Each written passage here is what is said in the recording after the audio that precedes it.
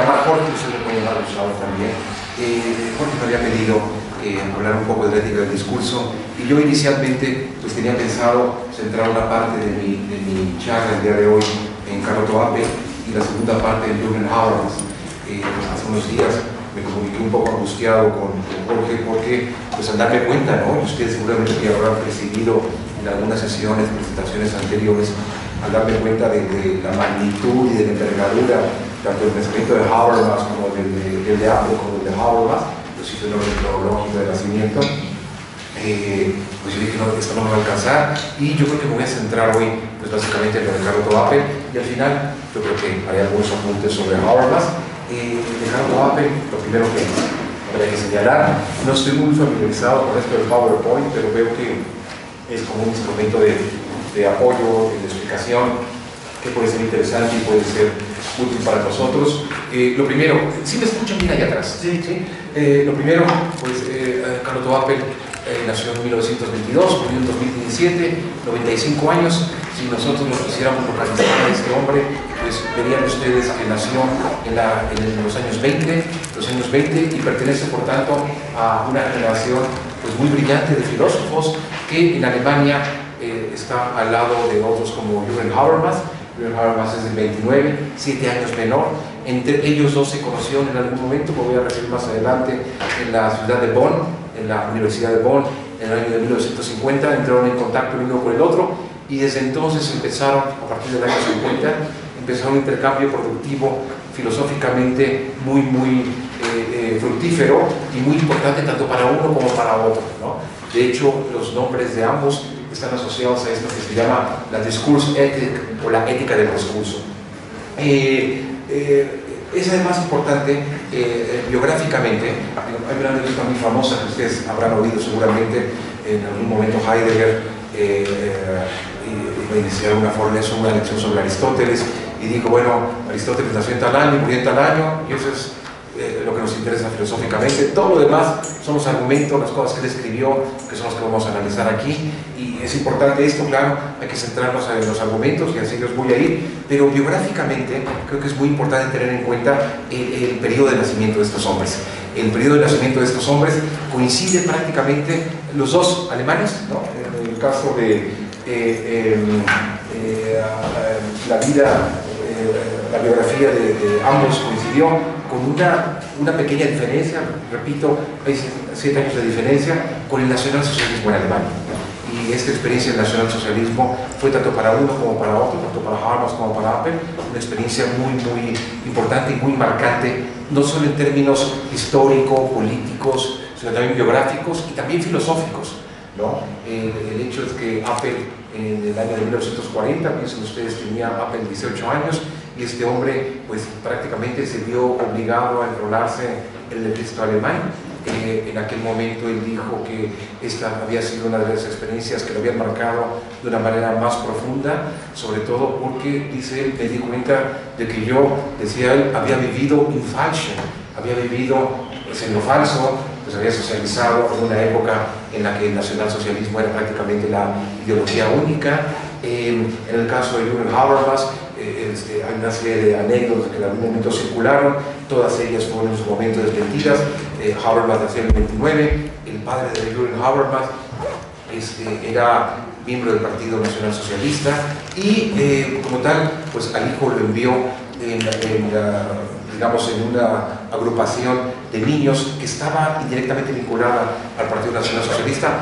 Habermas felizmente pues en razón de los problemas que ustedes deben de conocer de, de, de su constitución física, en fin, él eh, finalmente se liberó de, integrarse a las juventudes nacionalsocialistas y eh, en algún momento él se encargó de desmentir una anécdota, un rumor que circuló eh, de, de Hans en el sentido de que él había sido un nacionalsocialista y partidario, enfático, cosa que era mentira, ¿no? Cosa que sí ocurrió con otros muy destacados miembros de la, de la intelectualidad alemana, ¿no?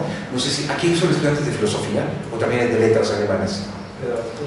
De, de, perdón? Pedagogía. De pedagogía. Bueno, simplemente lo menciono esto, pues es de interés para ustedes. Eh, eh, Günter Grass, ¿no? el gran escritor alemán, eh, casi al final de su vida, por el premio Nobel incluso, este hombre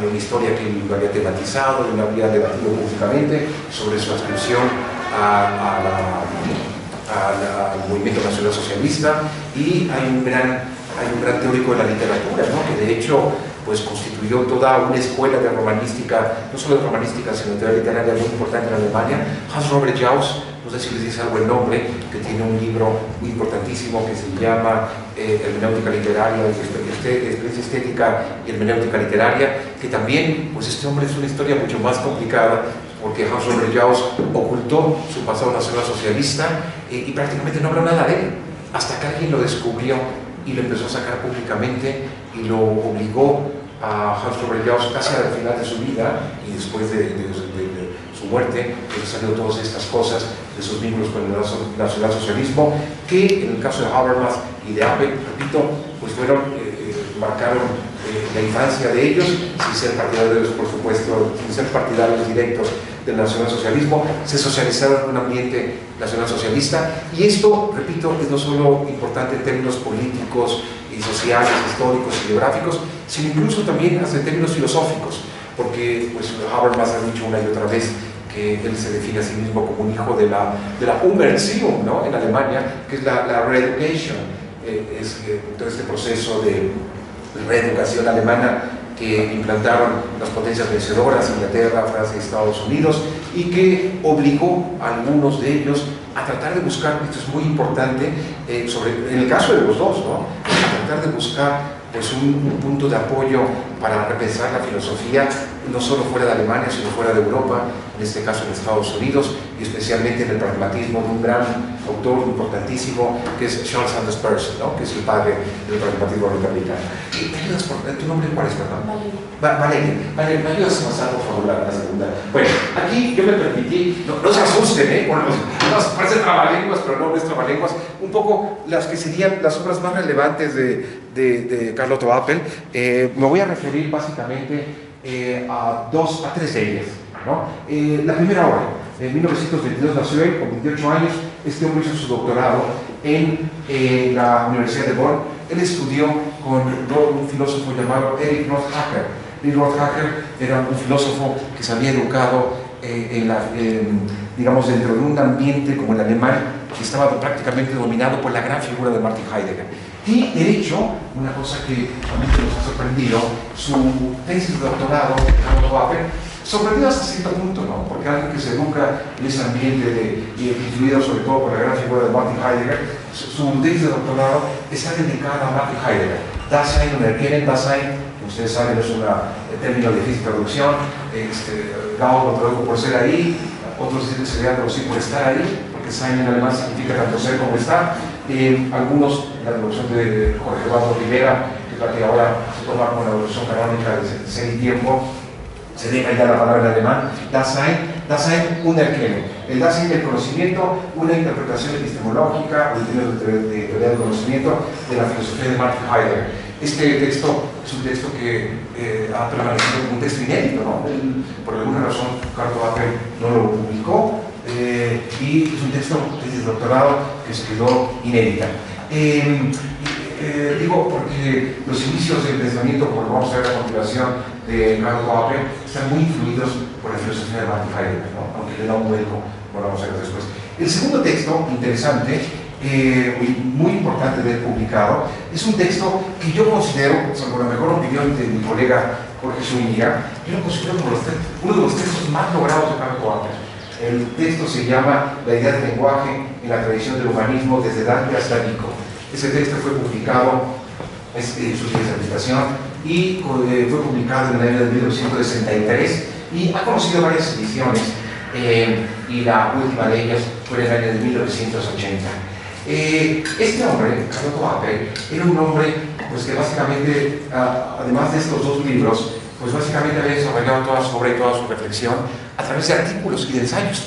Los artículos y ensayos que eh, eran artículos y ensayos que no se habían podido reunir, él no los había reunido en un libro sistemático. ¿no? Ustedes saben que, pues básicamente la tradición alemana en ese momento es como la gran obra, ¿no? Hicieron publicar este, Ser y Tiempo, El Mundo como Voluntad y Representación, La Crítica de la Razón Pura, este, La Filosofía de las Formas Simbólicas, que son más como muy sistemáticas, logradas, y más bien la cultura del ensayo y del artículo es más bien un fenómeno, yo me atrevería a decir que pues casi anglosajón, ¿no? Y a través de la cultura anglosajona nos ha llegado a nosotros en América Latina, en a México, eh, toda esta idea, ¿no? Ustedes en algún momento pues, van a entrar a este mundo pues, fascinante, complicado, difícil de la academia y se van a dar cuenta de todo esto de la, la, presión de la cultura, de la publicación de artículos en revistas, etc. Y Carlos Coabe, pues prácticamente se la pasó publicando desde el año de 63, no, desde fines de los años 50 hasta los años, inicio de los años 70, pues eran prácticamente artículos. Y esos artículos, es, varios colegas y varios amigos, entre ellos el propio Miguel Habermas, uno dice Carlos Coabe en la introducción a, a su obra, a la que me voy a referir ahora, le, lo instaban y lo presionan, oye, ¿por qué publicas todos esos artículos que giran en torno a diversos temas, pero que tienen como un eje? Y ese eje común era el problema del lenguaje y de una interpretación de lo que se había dado en llamar una filosofía trascendental en términos de una pragmática trascendental o de una semiótica trascendental. ¿no? Todos ellos giraban, los artículos giraban en torno a este asunto y Carlos Ape lo reunió en un libro que se llama, un libro publicado en dos volúmenes, que felizmente está traducido al español con el título Transformación de la Filosofía. Dos volúmenes, fue publicado por Editorial Taurus en los años 80. Si no recuerdo mal, 1985. Este, no les voy a dar malas ideas porque, este, bueno, se las voy a dar, ¿no? Eh, los, libros se consiguen muy fácilmente a través de PDF, de script, etc. en la época, bueno, Jorge es una generación mucho más reciente. Este, no digo que yo pueda ser su papá, ¿no? Pero en, la época, en mi época, que no había internet y que no había estas cosas, uno tenía que andar batallando por conseguir los libros en bibliotecas, fotocopiarlos, eran libros muy caros, lo siguen siendo ahora por desgracia, pero estos dos libros se pueden conseguir en PDF, Transformación de la Filosofía, en dos volúmenes. Está publicado Transformación de la Filosofía 1, Transformación de la Filosofía 2, traducidos por eh, Cortina y Jesús Coli en, en Taurus en los años 85, en el año de 1985. Eh, el libro, el primer volumen, está dedicado a la analítica del lenguaje, a la semiótica y a la hermenéutica, y el segundo a un tema que es central en toda la reflexión de Apple, que es el a priori de la comunicación de la, de la, de la sociedad de comunicación de comunicación de simplemente se los, se los comento yo ahora. Justin Spurs está considerado como uno de los fundadores de la filosofía de Estados Unidos.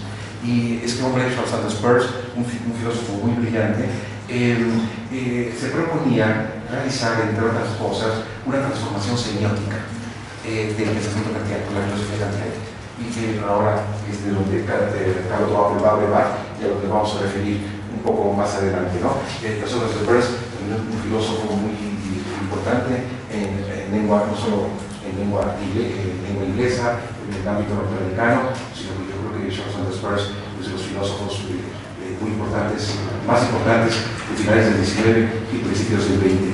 Eh, infelizmente, Charles Sanders Peirce también eh, es una persona que no publicó una obra sistemática, ¿no?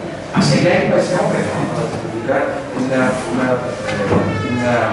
eh, eh, transformación semiótica de la filosofía kantiana, hacia allá iba, pero este, no, no, lo pudo, no pudo publicar ese libro y se quedó en, en, en varios artículos y esos artículos pues, eh, se corregía, iba eh, desarrollando, iba corrigiendo, iba precisando, iba matizando, eh, a los dos o tres ideas que son centrales, a las que me voy a referir más adelante.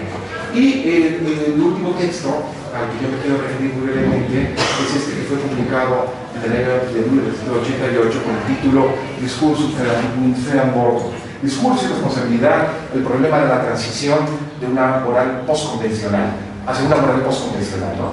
Y cuando alguien habla de una moral postconvencional, piensa en un filósofo este, eh, norteamericano hizo muy popular llamado Lawrence Kohlberg, que este, se trató de hacer algo así como en paralelo a la epistemología genética de Piaget, que conocéis la epistemología genética de Piaget, los pedagogos este, seguramente que lo sabrán y les dirán este nombre de Jean Piaget.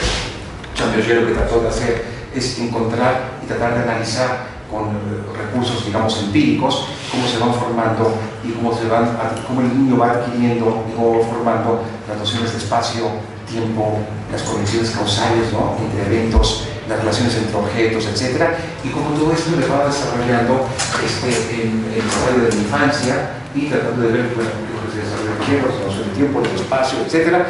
Y Piaget fue para muchos eh, eh, filósofos muy, muy importante porque, decían algunos, que le daba algo así como un soporte de carácter empírico a algunas propuestas de filosofía como la del corte kantiano, ¿no? donde se habla de espacio, tiempo como impresiones a priori, se habla de las categorías también como eh, este, conceptos a priori y lo que hay que ir viendo, dice Piaget, es cómo esto se va definiendo y cómo se va desarrollando, etc. Piaget, Colbert lo que hizo, eh, inspirado por las ideas de Piaget, este filósofo muy joven, ¿no? este, este, tuvo cáncer, suicidó Colbert, no, aquí el nombre, o si no, no lo conoce, no sé si está traducido, porque tú sabes si está traducido Colbert al español. Creo que sí. ¿Sí? Bueno, Colbert, Colbert se escribe así, Colbert, Lawrence Colbert. Eh, ese nombre se hizo famoso porque John Rawls lo empezó a, a llamar la atención sobre él para tratar de hablar de algunos problemas centrales de lo que Rawls llama la psicología moral. Bueno, y, John, y Lawrence Kohlberg lo que hizo es tratar de ver cómo se, se daba el desarrollo ya no en términos epistemológicos, ¿no? las nociones de espacio, tiempo, categorías, etcétera, sino más bien el desarrollo de la conciencia moral. ¿no? Y cómo se va formando, y ahí Kohlberg hablaba de tres estadios, por un lado hablaba del estadio preconvencional de la moral, que es cuando el infante, y lo utiliza más o menos en la primera infancia, de los 0 hasta los 2 años, en fin, eh, donde el infante no tiene todavía la conciencia de que hay una serie de normas eh, conforme a las cuales él tiene que regular su comportamiento, ¿no? Después habla de un periodo convencional, cuando el infante, no sé, de los 4 hasta los 7, 8 años, en donde el infante empieza a interiorizar, y empieza eh, no solo a ser consciente, sino a interiorizar la idea de que hay, de que hay eh, normas, hay órdenes normativos a los cuales él tiene que ajustar su comportamiento, ¿no? y que esto lo va aprendiendo en un proceso de socialización, de educación, tanto en la familia como en la escuela, ¿no? socialización primaria, socialización secundaria, etc. Y Colbert habla de un estadio preconvencional, de hecho, convencional, y habla de estadio postconvencional. Y el estadio postconvencional es más o menos hacia la pubertad, la adolescencia, en fin, cuando el, el el el adolescente, empieza a volverse crítica a volverse críticamente sobre ese marco normativo en torno al cual él ha guiado hasta ese momento su conducta. ¿Sí, sí me explico? Entonces empieza la época de cuestionamiento, de las normas, etc. ¿no? Y, eh, y, um, uh, Apple, al igual que Habermas, tratando de tomar estas ideas en el desarrollo de la conciencia moral, repito, preconvencional, estado preconvencional, estado convencional, estado postconvencional, tratan de aplicarlo, esto, tanto Apple como Habermas, eh, eh, para tratar de explicar y para tratar de ver algo así como una base eh, cuasi empírica, o en algún sentido dotado cierto contenido empírico, de cómo se va desarrollando la conciencia moral de los individuos. Y no solo de los individuos, ¿eh? sino de las sociedades. Es muy complicada. Y se podría hablar no, solo de individuos, sino también de sociedades. Se podría decir que sociedades, eh, por favor, no quiero introducir aquí ningún discurso de corte evolucionista, simplista, etc. Eh, es muy, una cosa muy complicada. Si había sociedades en términos morales preconvencionales, sociedades convencionales, sociedades postconvencionales, ¿no? Y si ese tránsito, ¿sí me van siguiendo? ¿Sí? ¿Sí? No, no se me ha perdido, ¿no? Hablo muy rápido, le dicen, ¿eh? Y si ese, y si ese tránsito de sociedades preconvencionales, postconvencionales y postconvencionales, eh, a partir de qué experiencias históricas se van dando, ¿no? Es porque unas sean más inteligentes que otras, ¿no? Sino porque se van enfrentando y se van confrontando a diversas experiencias, ¿no? Crisis, revoluciones, en fin, ¿no? Bueno, eso es lo que trata de, cuando se habla aquí el problema de la transición hacia la una moral postconvencional, a eso se refiere eh, el Apple, esto es, a una moral en donde se pueden volver los individuos crítica y reflexivamente sobre las normas morales que orientan su acción. Podemos pasar, ¿qué pasa? Eh, con ayuda de Valeria. Eh, voy a centrar inicialmente en este libro, después voy a hablar un poco de este y al final voy a hablar un poco de este. Vamos primero con este. La idea del lenguaje en la tradición del humanismo de Dante a Pico. Eh, ahí, como yo les comentaba hace un momento, eh, Carlo Toabe empieza a desarrollar una reflexión sobre el lenguaje que lo va a acompañar a lo largo de toda su vida. Esa reflexión eh, está orientada cómo, de dónde le viene. Pues le viene en primer lugar, que había señalado, las personas que están ahí atrás, por favor, si alcanzan a ver esta letrita tan chiquita, ¿sí? Bueno, si hay algún problema, por favor, me dicen y yo se los, se los deletreo. Eric Rothhacker, quien yo eh, lo había mencionado, era profesor de filosofía en Bonn, hacia los años eh, finales de los 40, principios de los 50, Eric Rothhacker se había formado en la filosofía de Heidegger. Y Eric Rothhacker fue maestro tanto de Apple como de Habermas, ¿no? que coincidieron los dos, ahí se conocieron en el año de 1950 en la ciudad de Bonn. Y esa reflexión que desarrolla eh, uh, en este libro está, está, orientada por la obra de Eric Rothhacker, por la de un lingüista, un lingüista también muy oscuro, ¿eh? llamado Leo Weisgerber Leo Weisgerber, este, este hombre eh, era un lingüista, eh, nació en 1901, si no recuerdo, y murió en los años 80-85, si no recuerdo mal, un lingüista alemán de Bonn. Y este hombre, eh, con una historia biográfica también muy complicada, ¿no? por su vinculación por el nacionalsocialismo, en fin. Y, Leo Weisgerber lo que trató de hacer es actualizar un argumento que había sido ya desarrollado por Wilhelm von Humboldt en el siglo XIX. Y ese argumento es el siguiente, de que los lenguajes, los lenguajes, la lengua materna en la que uno se socializa, determina la visión del mundo que uno tiene. Esa es, la idea, ¿no? Y que, eh, digamos, eh, nuestro lenguaje, o a partir de nuestro lenguaje, se va acuñando y se va organizando la experiencia del mundo. Es una idea central que viene de Humboldt, algunos la retrotraen incluso hasta Herder y, hasta Jean-Baptiste Pico, y la toma eh, uh, Weisgerber, eh, es una idea muy importante que eh, va a traducir en este primer texto importante de Frank Otto Appel.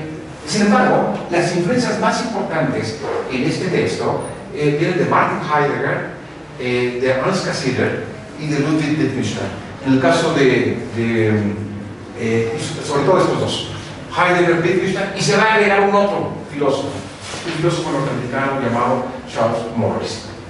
No voy a centrar en Weisberger, porque es un lingüista. En el caso de él, Cassirer lo mencionó muy rápidamente. Cassirer escribió una obra importantísima en los años 20 que se llama Filosofía de las formas simbólicas. Por una casualidad muy extraña, esta obra filosofía de las formas simbólicas pues fue prácticamente traducida muy rápidamente, no fue por una cosa extraña, ¿no? fue por el exilio español, gracias a la labor de Wenceslao Roses y de Eugenio Limas, que estos hombres tenían una gran admiración por toda la cultura alemana, y ellos dos se aventaron la traducción de la filosofía de las formas simbólicas de las Casillas. Y en la filosofía de las formas simbólicas, eh, eh, está centrada en torno al concepto de símbolo y la idea de, de que la desarrolla ahí con un gran, gran detalle, es la siguiente, que la relación que tenemos nosotros con el mundo está mediada por el orden de los símbolos. Y lo que trata de hacer es una transformación de la filosofía kantiana con ayuda de la noción de símbolo. Y lo que hay, dice él, es que la relación sujeto-objeto está mediada por el orden del símbolo. Esa idea es una idea central en Cassirer, en los años, un proyecto importantísimo. Y aquí en México lo hemos olvidado, pero que ahora, eh, sobre todo, no, hay aquí nadie de la antropología, de la antropología. ¿No? Eh, este, bueno, si les llama la atención, hay un, autor ahora que es muy importante en el ámbito de la antropología y de los estudios culturales, que es Avi Warburg, eh, que fue un coleccionista y un intelectual alemán de Hamburg, de Hamburgo, y este fue una enorme biblioteca, la biblioteca Warburg, y en esa biblioteca es donde Cassirer empezó a desarrollar todas esas ideas de las formas simbólicas y de hecho dicen que la filosofía de las formas simbólicas es lo se llama la teoría de la biblioteca Barbour. ¿no?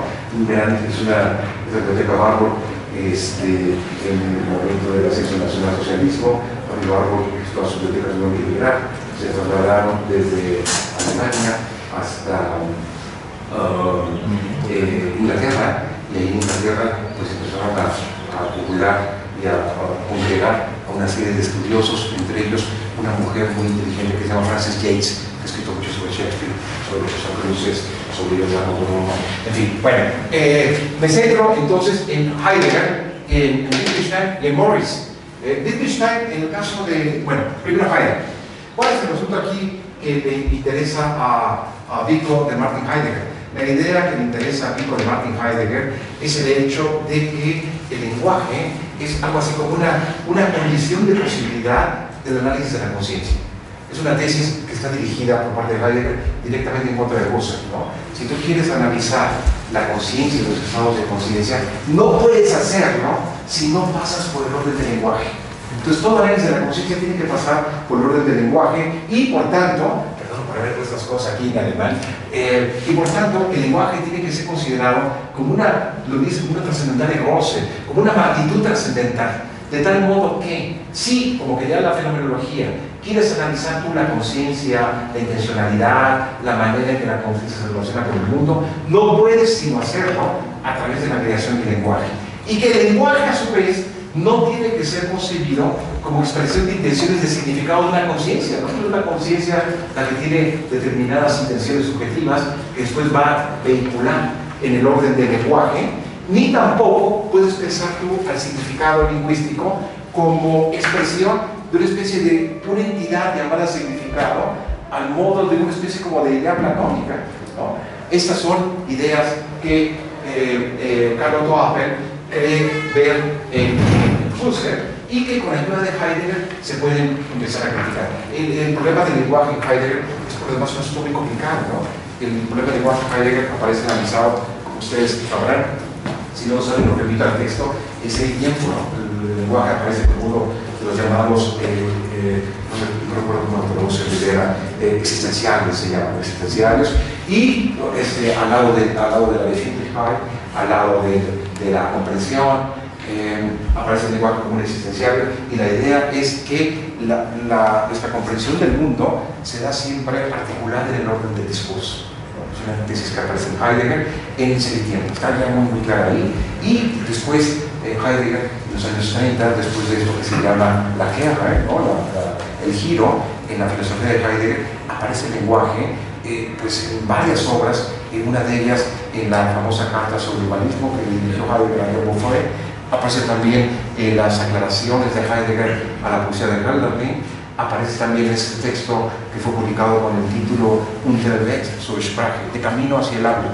Todo eso está traducido ya al español, si quieren después les puedo dar los, datos, y donde Heidegger llega a decir eh, el lenguaje es la morada del ser y de esa morada vive el hombre, ¿no? De, de Aufenthalt des Seins. El lenguaje la morada. Y entonces la idea es que nuestra experiencia del mundo está constituida este, lingüísticamente, pero en el lenguaje.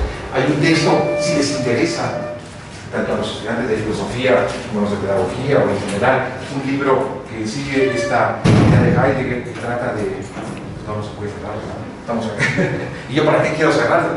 Eh, uh, hay, un, hay, un, libro que, este, que, está traducido al español y que fue hecha por una filósofa, mujer, eh, eh, que tiene el español como lengua materna, Cristina Lafont.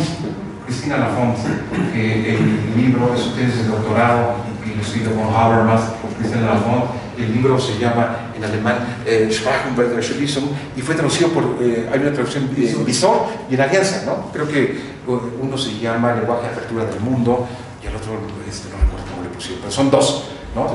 hechas por Cristina Lafont, en donde esta mujer, de una manera muy, muy interesante ¿no? y muy clara además, pues prosigue estas dos tradiciones del La idea del lenguaje en la filosofía alemana, ¿no? La idea del lenguaje en la filosofía, creo que se llama así, sí creo que es que pusieron en, en, español.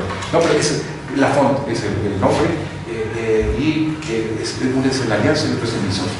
Eh, y uh, Visor la parte de Medusa, me parece que desde el libro, ¿no? Y, y, esta mujer sigue aquí un poco estas dos vertientes, ¿no? Del, del lenguaje eh, y de, de, filosofía del lenguaje eh, desde el siglo XIX y en el siglo XX. Por un lado, toda esta tradición que viene de Humboldt, Cassirer, eh, por un lado, la hermenéutica de Heidegger, del segundo Wittgenstein, a que voy a referir ahora, por otro lado, y en la otra vertiente, que no es la continental, sino la anglosajona, que es la de la filosofía analítica.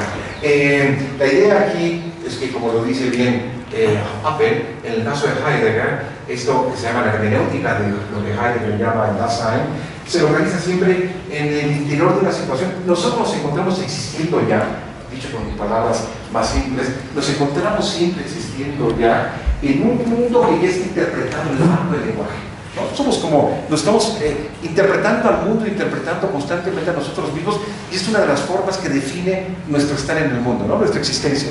No podemos existir si estamos interpretando a los demás, a nosotros, eh, eh, al mundo, a la situación en la que nos encontramos. Y esa interpretación, es muy importante para Heidegger, que subraya aquí Apple, se realiza siempre ya en el marco del lenguaje.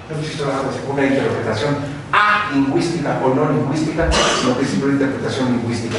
Y que, como lo dice Apple aquí, siguiendo a Heidegger, el lenguaje que emplean muy importante, ¿no? El lenguaje que emplean los científicos para entenderse así entre ellos, el lenguaje teórico, está ya siempre inserto e interpretado en un lenguaje preteórico, pues los científicos tienen que interpretar ese lenguaje teórico en un lenguaje teórico que está, digamos, ligado a la forma en que nosotros nos encontramos en el mundo. Y la función aquí del lenguaje es una, eh, el lenguaje como una mundo, ¿no? A través del lenguaje se nos va a vivir el mundo, una, una que es la palabra que dice aquí. Esto es, por lo que se refiere a Heidegger. Por favor, Valeria, la, la siguiente hoja. Wittgenstein. En el caso de Wittgenstein, todos ustedes, eh, los que estudian filosofía, y si no estudian filosofía, pues ya se los digo yo ahora, eh, considerado uno de los grandes filósofos del siglo XX, origen austríaco, y hay todo un gran debate, ¿no? En el caso de Marx, el, Marx joven, el Marx maduro, en el caso de Wittgenstein, este, hay, eh, se suele hacer una distinción entre el primer Wittgenstein y el Wittgenstein y el segundo Wittgenstein. El primer Wittgenstein es un Wittgenstein que está eh, sobre todo expresado en esa obra brillante publicada en 1921 llamada Tratatus Lógico-Filosóficos, que sirvió como de base o de fundamentación teórica a la filosofía del círculo de, de Viena, del positivismo lógico, no, en donde eh, Wittgenstein trata de, de, analizar la relación pues, prácticamente de especular entre el lenguaje y el mundo, ¿no? entre una relación de correspondencia en el, el, en el mundo de los objetos, lenguaje tenemos los nombres, en el mundo tenemos los, los, eh, los, eh, los, los taxajes, eh, los hechos, y en el lenguaje pues tenemos las llamadas proposiciones atómicas, y en el mundo tenemos los Sachverhalte, que son como encadenamientos de hechos, y en el orden del lenguaje pues tenemos nosotros proposiciones que se forman a partir de proposiciones atómicas.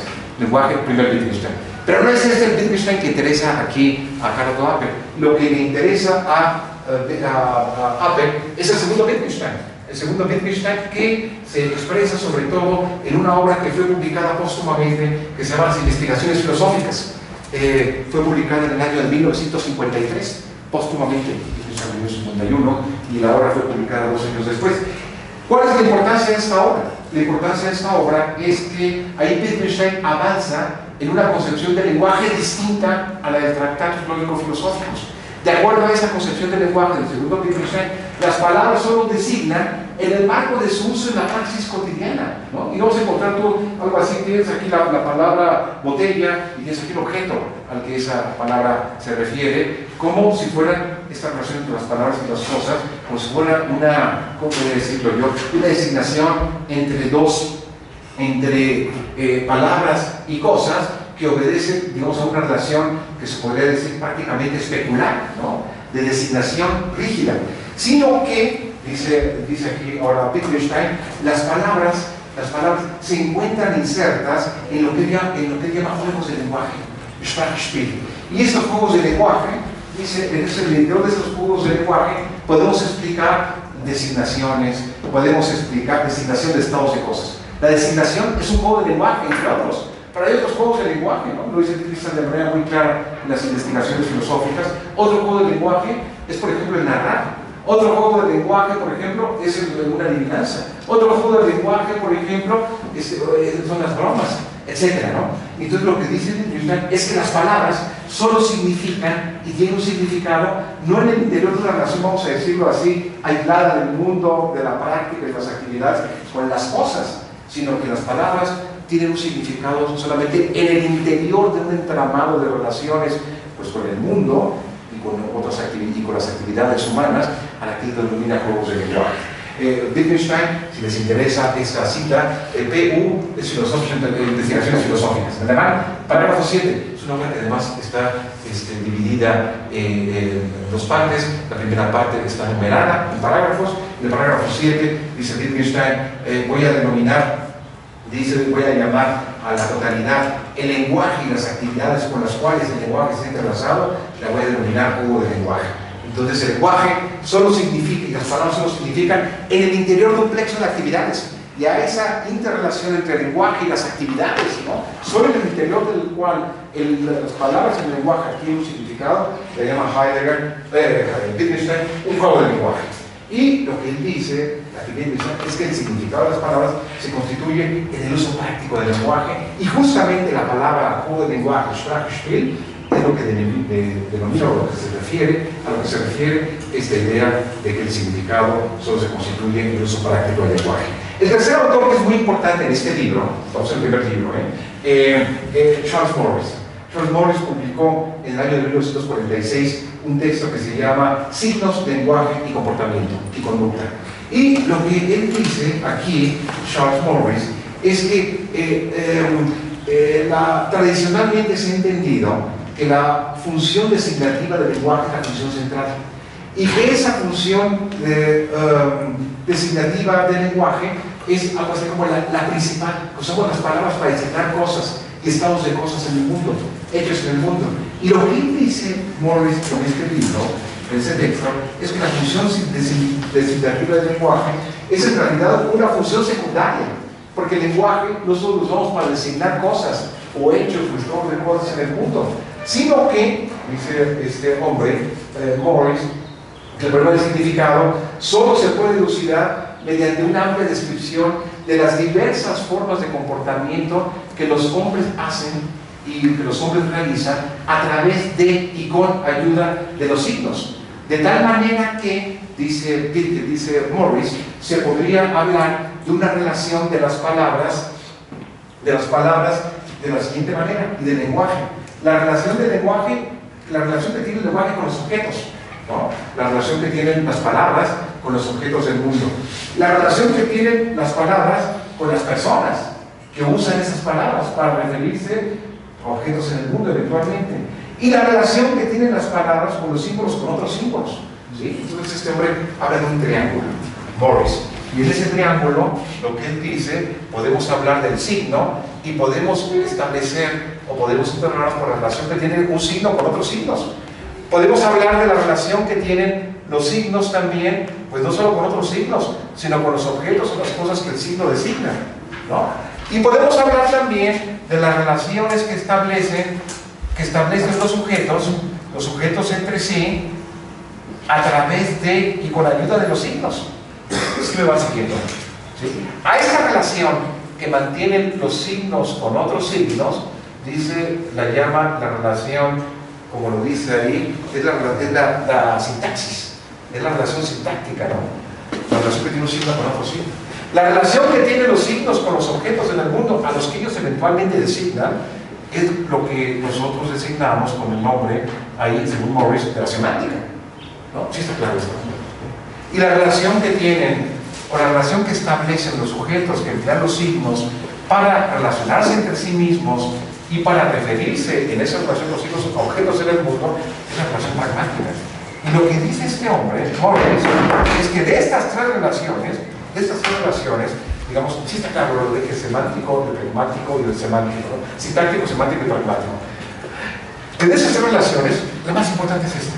Y solo podemos comprender esta y esta desde la perspectiva, desde la dimensión abierta por esta por la pragmática. ¿no?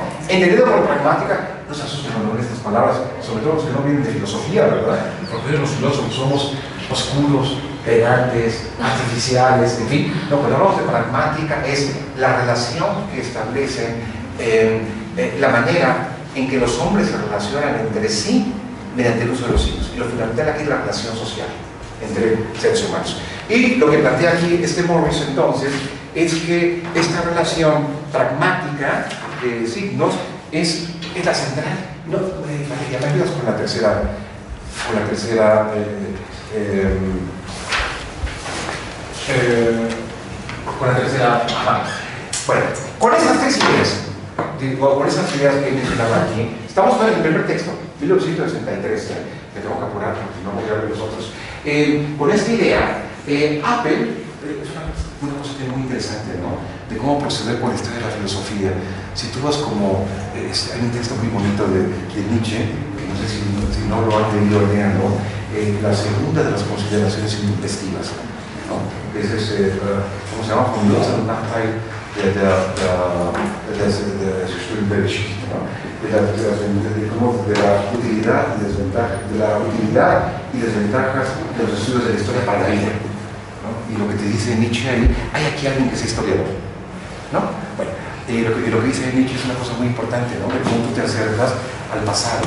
Y al pasado, pues no solo al pasado acontecido en términos sociales, en términos individuales, etcétera, sino también a la historia de una disciplina. Y a lo que Nietzsche le preocupa en ese texto es que tú te acerques al pasado con una mirada vertical. Que vayas al pasado y pues, una, una reconstrucción histórica puntual del pasado, pero el pasado lo estés congelando. Y no lo conectes con preocupaciones y con expectativas y con necesidades que emanan del presente. ¿no? Entonces tenemos una visión del pasado historiador vertical. ¿no? En realidad, Nietzsche en este texto se dirige en contra del historismo del, del 19. Y lo que él dice, no, estudiamos al pasado en la medida en que podamos nosotros integrar al pasado en el presente. ¿no? Y, eh, y es un poco lo que hace en este texto, ¿no? Porque va a estudiar a la tradición de los representantes eh, latino e italiano desde Isidoro Quintiliano hasta, hasta Castiglione, pero no con un ánimo de historiador en el sentido de eso que critica Nietzsche, ¿no? sino que los interroga a ellos desde una perspectiva, una medida del presente, que es el problema del lenguaje y la manera en que se puede interpretar la reflexión que ellos hicieron del lenguaje desde la reflexión esta que eh, está animada por preocupaciones que vienen del presente, de Heidegger, de Wittgenstein, de Morris y de Cassirer. Y eh, lo que llega a la, conclusión a la que llega aquí es que el lenguaje está considerado como, como, una institución de instituciones. ¿no? Si una institución, ¿qué es? Una institución, pues es algo así como un conjunto de, de reglas, de normas y de procedimientos no subjetivos, sino sociales, que nos permiten eh, eh, coordinar y nos permiten comprender y nos permiten regular las interacciones sociales. Y es una de las cosas que permite el lenguaje. ¿Lo permite solo el lenguaje? No, hay otras cosas. El derecho también lo permite. ¿Lo permite solo el derecho? No, se puede permitir desde diferentes maneras. ¿no? El juego puede ser una institución, el derecho puede ser una institución, eh, etc. Pero hay una institución, dice que es como la institución de instituciones, y la llama en algún momento una meta institución. ¿Por qué? Porque en el lenguaje tú te puedes, es una institución con la ayuda de la cual tú te puedes volver reflexivamente sobre otras instituciones. A través del lenguaje y desde el lenguaje puedes reflexionar sobre el derecho, puedes reflexionar sobre el juego, puedes reflexionar sobre la moral, puedes reflexionar sobre todas las otras instituciones. Entonces dice, el lenguaje es una institución de instituciones, una meta institución solamente en el interior de la cual el hombre puede mantener una relación duradera consigo mismo y con sus semejantes, más allá de su subjetividad. El lenguaje implica, como meta institución, una trascendencia constante de la subjetividad, una superación constante del horizonte subjetivo en el que se encuentran los individuos y una, un horizonte en el cual los individuos pueden reflexionar sobre sí mismos, sobre el mundo, sobre los demás y sobre las otras instituciones. Es una, por eso dicen, es una meta institución del lenguaje que se alimenta del diálogo relacional entre los hombres bajo la y que brinda la posibilidad de una mediación dialógica del resto de las instituciones sociales. Esto lo dice Carl Apple en, lo va a decir más adelante, refiriéndose a ese texto de 1963. Eh, ¿Quién fue el primero? O uno de los primeros en haber visto esto, según el libro de 1963. ¿eh? El primero en haber visto esto, según él, es Jean Batista Pico. Jean Batista eh, es, el, como lo dice él, ¿no? es, es quien hace o quien ofrece la metafísica oculta, o si se quiere, realiza la filosofía, la filosofía oculta del humanismo lingüístico romano italiano, ideas que habían sido ya desarrolladas y expresadas en tratados, en poesía, en el teatro, etcétera, por toda la tradición italiana de Cicerone, Justiniano, hasta, Baltasar de Castiglioni, pasando por Dante, etcétera, encuentra su articulación y su reflexión filosófica hasta Vico. John Battista Vico es central en todo este primer, en todo este primer, en este primer libro de, de, de, de y entre otras cosas, dice que es quien suministra la metafísica oculta y lo manejo lingüístico romano italiano, Y no hay que olvidar, no hay que olvidar que Pico fue uno de los primeros en haberse opuesto al programa, al programa cartesiano de fundamentación de la filosofía. Y esa línea de Pico, lo recuerda aquí muy bien eh, eh, Carlotto es la que se prolonga en la dirección de Hamann y Herder ya en el siglo XVIII en Alemania, en el sentido en que después le va a interesar a este hombre. ¿Qué es lo que hay importante en Pico? En Pico es muy importante el análisis de la filología y la etimología. ¿Por qué es importante la etimología? Es importante la etimología porque la idea de Pico, él se refiere sobre todo a esta obra de Pico, que es de la sapiencia antigua de los, italianos y de la, lengua latina, cuyo origen se trata de dilucidar aquí. Eh, es una obra publicada en Nápoles en 1710. Eh, lo que le interesa a Pico aquí es la etimología. ¿Por qué la etimología? Porque lo que Pico trata de ver, fíjense qué interesante, ¿no? Eh, articular la historia de las cosas y la historia de las palabras, con la idea de que si tú quieres esclarecer la historia de las cosas, hay que ir a la historia de las palabras, de la etimología. Y a la inversa, si quieres esclarecer tú el, desarrollo de un lenguaje, tienes que ir a la historia de las cosas. Entonces van, van como, como juntas, ¿no? La historia de las cosas y la historia de las palabras, ¿no? La historia de las cosas y la, etimología, ¿no? Cómo se han usado las palabras y cómo han cambiado y cómo han surgido las palabras que usamos para referirnos a determinadas cosas. Pero no puedes conocer la historia de las cosas si no es a través de la historia de las palabras que hemos empleado y del desarrollo histórico de las palabras que hemos empleado, de ahí el, problema de la filología y de la etimología para referirnos a esas cosas. Ahora, esto es la noticia. Y, eh, sin embargo, ya en la introducción a la versión publicada de esta tesis, que es la tesis de habilitación, que es la obra de 1963, eh, Carlos Toapel empieza a dejar entrever una tentativa de ver si no se puede ofrecer una reconstrucción de un análisis filosófico del lenguaje eh, a partir de una perspectiva abierta, de una perspectiva trascendental, de una filosofía trascendental. Ver el lenguaje, alguien habla de trascendental, ¿no? En términos de filosóficos, uno que dice Kant, ¿no? Y si hablas de, de trascendental, hablas de Kant, pues empiezas a hablar, inmediatamente surge la, la la idea, ¿no? Condiciones de posibilidad, condiciones de posibilidad de experiencia, condiciones de posibilidad del lenguaje, condiciones de posibilidad de la argumentación, etc. Y lo que le empieza a interesar a Apple, en la, esto lo que expresa en la introducción a la publicación de esta obra, que es su disertación, su disertación, lo que le empieza a interesar es ver si se podría hacer o se podría intentar una reconstrucción de la filosofía trascendental por ayuda del lenguaje entonces el, pensador que aquí va a ser muy importante para él ya no ser tanto Heidegger, sino van a ser dos pensadores. Uno, Charles Sanders Peirce, a quien ya me referí, y el otro es eh, Immanuel Kant. Y ver si la condición de posibilidad de la experiencia eh, está ligada en algún sentido a condiciones de posibilidad que están articuladas en el orden del lenguaje y de la argumentación. Eh, Valeria, vamos ahora a la siguiente. Y es así que llegamos al texto publicado en 1973 en dos volúmenes, que es el segundo texto al que yo me quiero referir.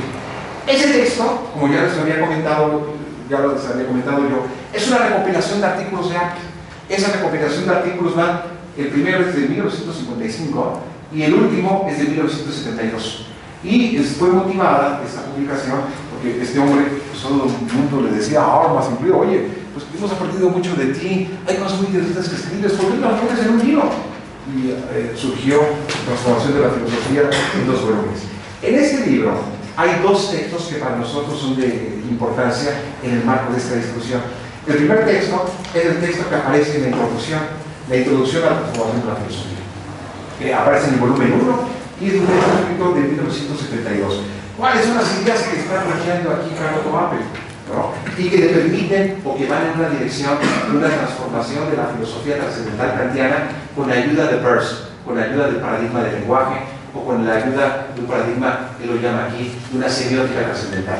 Cuando hablamos de semiótica, todo el mundo entiende, ¿no? Eh, nos referimos a una ciencia eh, eh, se interroga por los signos y por la relación de los signos, tanto con el mundo como con los signos con otros signos, como de los signos con los seres humanos.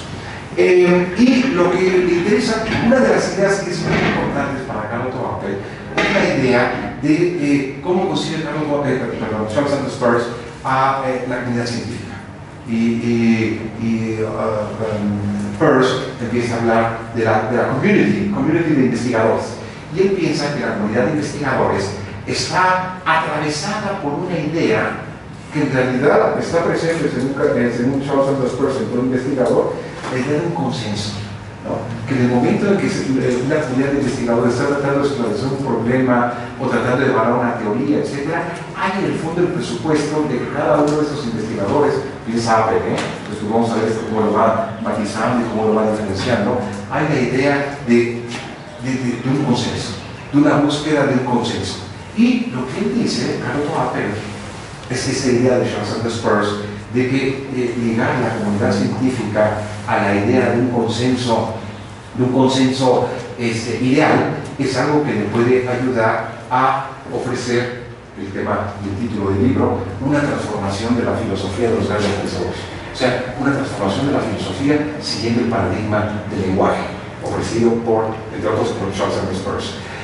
Eh, ¿Qué es lo que tenemos? Bueno, en Peirce tenemos entonces varias ideas. Una de las ideas es que para Peirce no se trata, digamos, de colocar en el centro algo así como la idea de un sujeto que se empieza a formar representaciones acerca de un mundo de objetos, un sujeto individual, sino que en lugar del sujeto y en lugar de esta relación que aquí Peirce y Apple ponen, califican de solipsista, lo que tenemos es una comunidad, una comunidad intersubjetiva.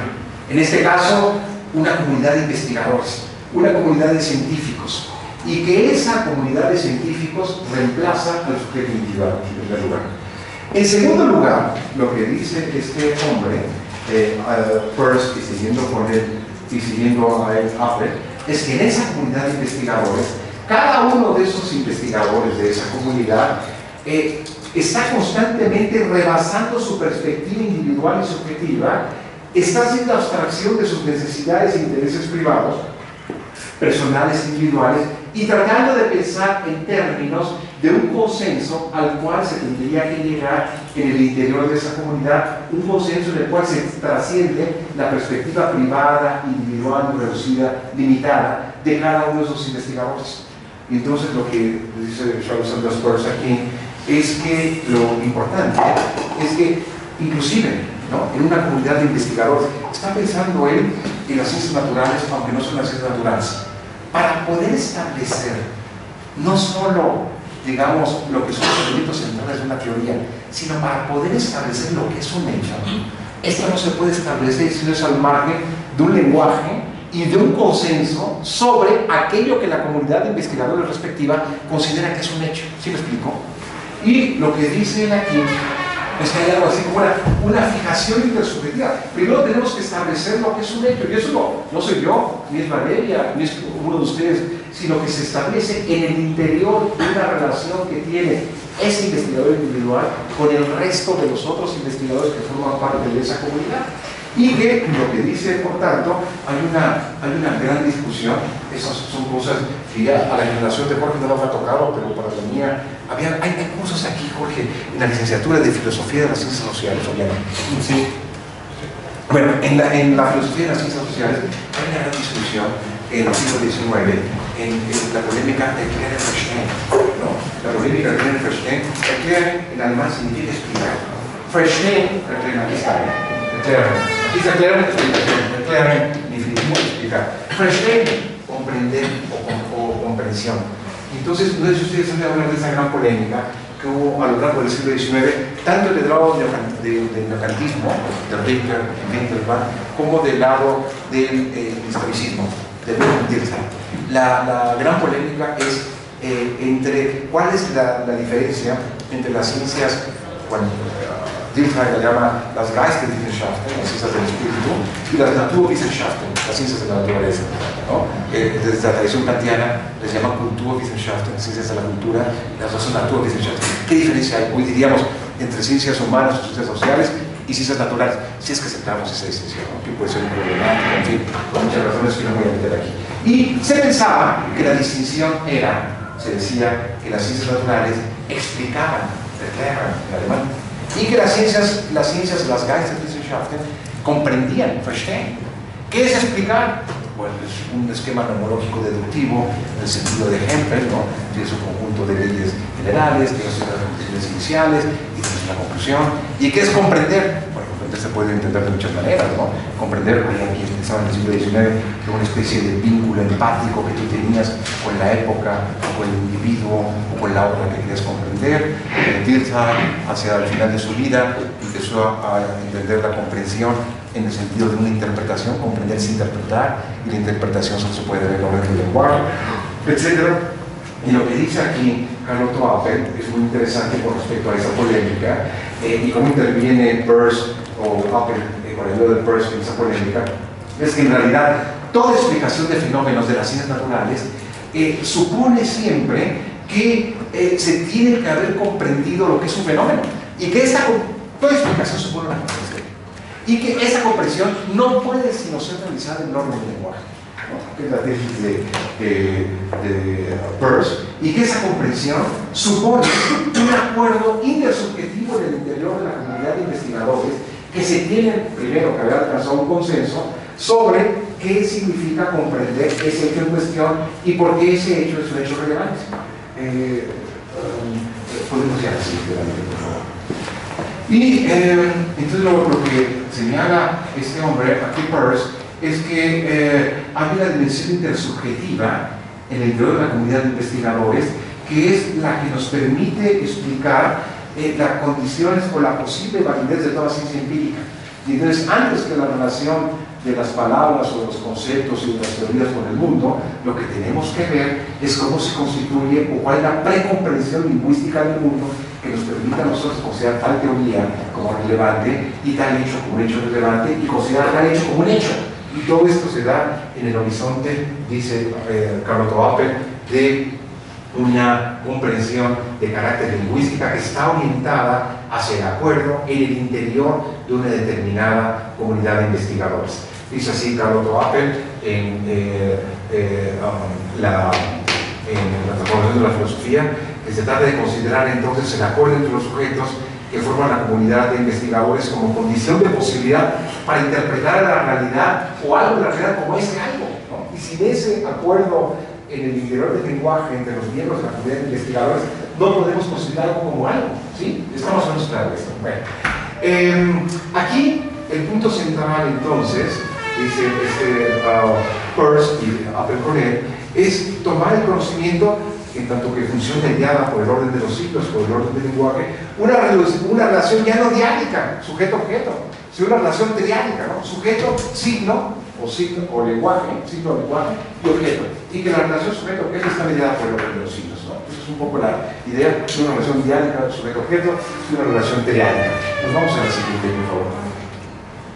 Ah, eh, y um, eh, esto y entonces esto me permite a Carlos Apple, por ayuda de Charles Sanders Peirce, eh, vincular eh, o desarrollar una crítica al positivismo clásico en el sentido de que, como decía yo, eh, el conocimiento no se da en el marco de una relación diálica sujeto-objeto o una relación diálica entre teorías por un lado y hechos, como lo plantea la semántica del positivismo lógico, sino que esta relación entre teorías y hechos o esta relación entre sujeto y objeto está mediada por esto que sería el, acuerdo y una comprensión lingüística de aquello en lo que consisten los hechos o aquello en lo que los objetos. Apple dice ahí, estoy citando aquí en el, eh, de la edición alemana, eh, me atrevo a defender todo esto que he dicho, esta propuesta que acabo de expresar, como una transformación de la filosofía trascendental. El libro se llama así, transformación de la filosofía, aunque Kant dice en su concepción de la filosofía trascendental haya dejado de lado, que desconsiderado, eh, haya dejado de lado las condiciones lingüísticas de su discurso teórico como las condiciones lingüísticas de posibilidad de una constitución objetivamente válida en el sentido de los objetos y tanto que eh, aquí la vieja crítica, acá que viene desde Hammer, ¿no? la crítica Juan pura tendría que haber eh, iniciado y se tendría que haber desarrollado y tomado como punto de partida como una crítica del lenguaje, ¿no? porque los conceptos y la constitución de los objetos de la experiencia se da en el orden del lenguaje. Hamann, Herder versus Kant, que es un poco la crítica que está retomando aquí. Sí, hay que hacer una transformación de la filosofía kantiana y esa transformación de la filosofía kantiana lo que tiene que hacer y el eje para realizarla es tomar el, eh, el, lenguaje, en el sentido en que lo ha tratado Peirce, un tema que le fue ajeno a Kant, pero en dirección del cual se podría transformar la eh, filosofía kantiana. Habla entonces de una transformación semiótica y normativa de la problemática kantiana del sujeto trascendental. Eh, y esta crítica le permite a él, dice, superar el solicismo metódico que ha caracterizado buena parte de la filosofía moderna desde Ockham y Descartes hasta Husserl y Bertrand Russell. Eh, pasamos a la siguiente. Em, esto, es importante, eso es importante. El, segundo punto que yo tengo aquí, porque ya me tengo que ir apurando, no, eh, no me voy a invitar aquí no va a decir con toda razón, oye, invitamos a hablar de ética y pues No, como, dicen, como decía mi abuelita, despacito y nos amanecemos, ¿verdad? Bueno, eh, eso es muy importante. Eh, em, y quería interrogar a, a Renato Abel en varias direcciones.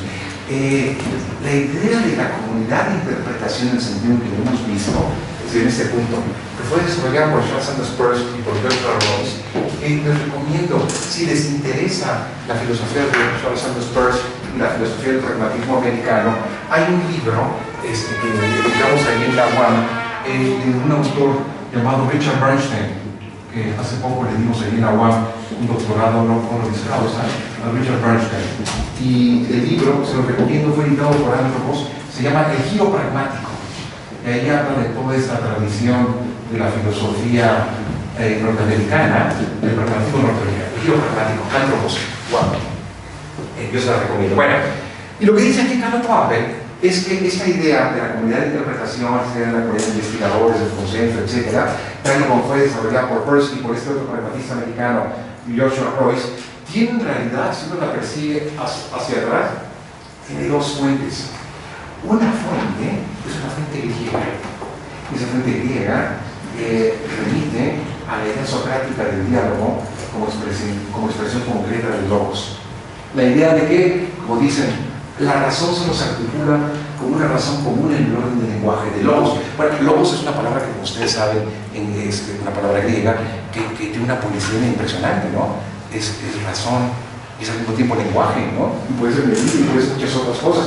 Pero por un lado, la fuente griega, ¿no? Eh, la idea del, diálogo como una expresión concreta. La razón no existe sino en el, en el orden y en el espacio del diálogo es una idea griega que es la que está presente en esta noción de comunidad de investigadores y de consenso que hemos hablado de Charles Es la idea griega. Y la segunda, la segunda vertiente de donde proviene es una idea cristiana. Muy interesante su que eh, ¿De dónde viene? Es, la idea de, la comunidad, de la Gemeinde, ¿no? como una comunidad. Eh, eh, en, alemán, la palabra, esas dos palabras, Gemeinde y Gemeinschaft, significan pues, prácticamente lo mismo se traducen de la misma manera, ¿no? Solo que Gemeinde eh, tiene un sentido tanto de, de, limitación territorial, ¿no? Donde está la, la Gemeinde, por ejemplo, Topilejo, Tres Marías, etc. No, no, lo digo en serio. Este, la Gemeinde, pero también tiene una connotación religiosa. La Gemeinde es la comunidad de los fieles, ¿no? En forma de la iglesia, ¿no? Habría que seguir el término de, de, de eclesia, el término de asamblea, Kirche, de donde viene de donde se, la palabra alemana para iglesia, etc. Entonces la, la, otra idea es una, es una idea cristiana, y esa idea cristiana de la comunidad, como Gemeinde, como comunidad de Gemeinschaft, de aquellos que han sido llamados a la unión con Dios, una comunidad que remite a motivos, o que está expresada y que se articula también con motivos agustinianos de una, de una chica de que se pueda casar de la historia, ¿no? una ciudad de Dios que se pueda casar a través de la historia. Eso es muy interesante y habrá que seguir en algún momento de la doble filiación a la diferente de comunidad, tanto la fuente griega como la, la fuente cristiana. Habría otra fuente que no consideren aquí, ¿eh? en la que no me voy a meter, que es muy complicada, que es la fuente judía específicamente judía, ¿no? Y si no hay que ver aquí la obra de, de, de, de Walter Benjamin, de Franz Rosenzweig, La estrella de la, de la redención, etc. Y curiosamente no la cita aquí, pues, estoy seguro de que estaría de acuerdo. Y eh, la idea entonces, al final, nos dice aquí en este artículo, es la, tematización del lenguaje como un, dejo aquí esta palabra, un hintergeber, un hintergeber, ¿no? eh, la traducen eh, al español y creo que, es si no es una buena traducción, eh, el lenguaje como una peor, un hinterguerra, lo que como una peor irrebasable que permite la superación del idealismo nociológico y del solipsismo metódico. ¿no? Eh, digo, la palabra irrebasable, un hinterguerra quiere decir esto, ¿no? Imagínense ustedes, perdón con mi no soy yo, ¿verdad? Bueno, este, no, la. Eh, imagínense ustedes eh, dos carros aquí en la carretera, en la carretera. Lo que se diciendo aquí, Carlos es que el lenguaje tiene esa característica de que es un hinterguerra. Y esa palabra, un hinterguerra en alemán, la traduce de la cortina, digo, no estoy criticando, es que no se me ocurre ahora, la traduce de la cortina como irrebasable. Quiere decir que está aquí el lenguaje y que tú no lo puedes rebasar, no es la idea, sino que siempre va a estar ahí. Pero un hinterguerra en realidad es una cosa, es una cosa que no quiere decir que no lo puedas rebasar, porque rebasar quiere decir que aquí está el lenguaje y que tú no puedes rebasar, no puedes ir adelante. No, pero un hinterguerra en realidad es que tú no puedes ir atrás de él.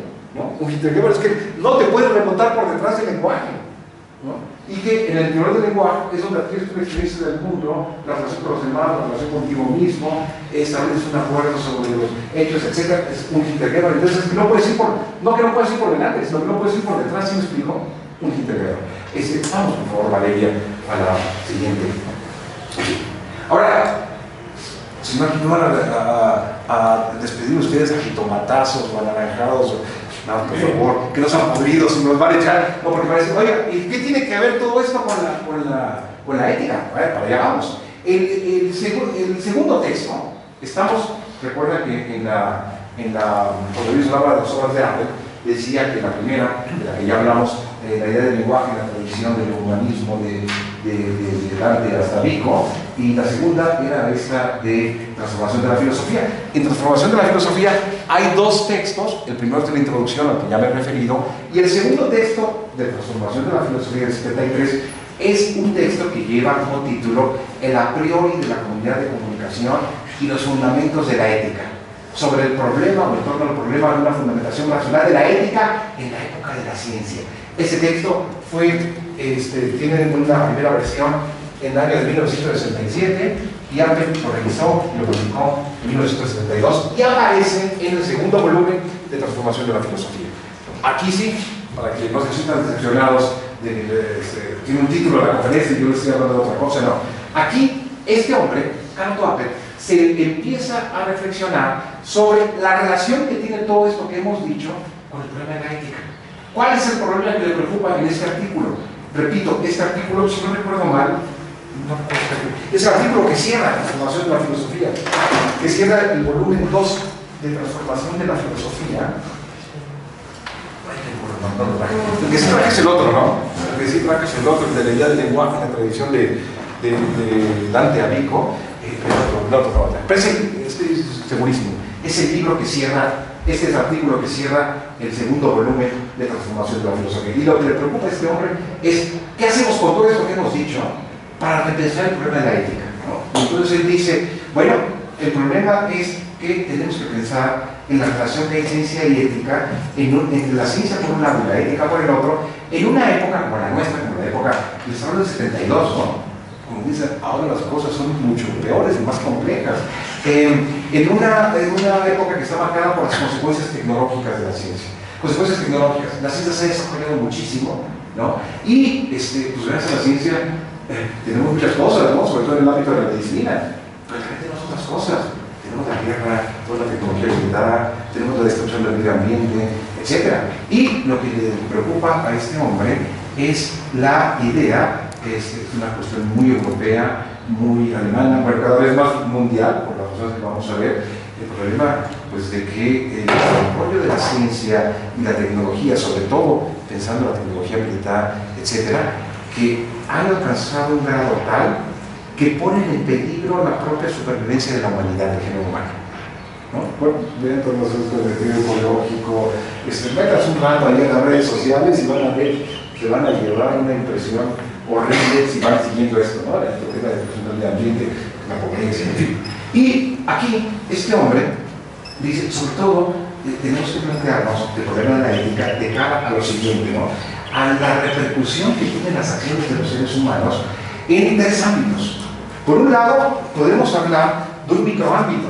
¿Cuál es el microámbito? Pues es el de mi propia familia, ¿no? Es el de mi propio vecindario. ¿Acaso el de mi colonia, ¿no? Si quisiéramos hablar aquí en México, en donde se nos plantean ciertos problemas, ¿no? Este, que si la basura, que si la violencia, etc. Hay, hay eh, lo que se llama un, un, un mesobereich. El mesobereich lo traduzco aquí como un meso ámbitos intermedios, ¿no? Cosas que los posibles el Estado nació, ¿no? A los mexicanos. Y hay ámbitos que son, que son macroámbitos, que ya no, no son mexicanos de mi colonia, sino que es el destino de toda la humanidad. Y entonces alguien podría decir, oye, es que ah, parece que está pensando como si en cada uno de estos ámbitos se empezaran a plantear una serie de problemas y de desafíos en el ámbito de la ética. Y podrías hablar aquí, en el caso del microámbito, pues hablar como una microética, ¿no? O podrías hablar, perdón por, estar metiendo ruido aquí, ¿no? Puedes hablar de una microética o una micropolítica, ¿no? Este, eh, una ética que está pensada para el ámbito de la familia, para el ámbito de la sociedad, o una política que está pensada para el ámbito de la familia, es muy legítimo, por supuesto, no te puedes agregar eso. Puedes hablar de un ámbito intermedio, eh, y puedes hablar entonces de una, así como hablas de un mesoámbito, puedes hablar, este, en una palabra mesogamaya. Meso es el prefijo griego que significa intermedio, un ámbito intermedio que es entre el micro y el macro, ¿no? Entonces, como intermedio o mesoámbito y puedes hablar de una mesoética y de una mesopolítica. ¿Cuál sea la mesoética? Esto no lo dice esto lo digo yo, digo con toda la modestia y con todo el perdón del auditorio. ¿no? Eh, el mesoámbito, puede hablar de una mesoética o una mesopolítica. ¿Qué sería esa mesoética o una mesopolítica? Una ética, una política que estuviera pensada ya no a nivel micro, ¿no? de familia, vecindad, ciudad, con, este, ¿cómo se van a llamar? ¿Cómo se van a llamar? Alcaldías, ¿verdad? Aquí en, la Ciudad de México, alcaldía, etcétera, sino que fuera este, de, un Estado, en fin, y el mesoámbito es el del Estado-Nación.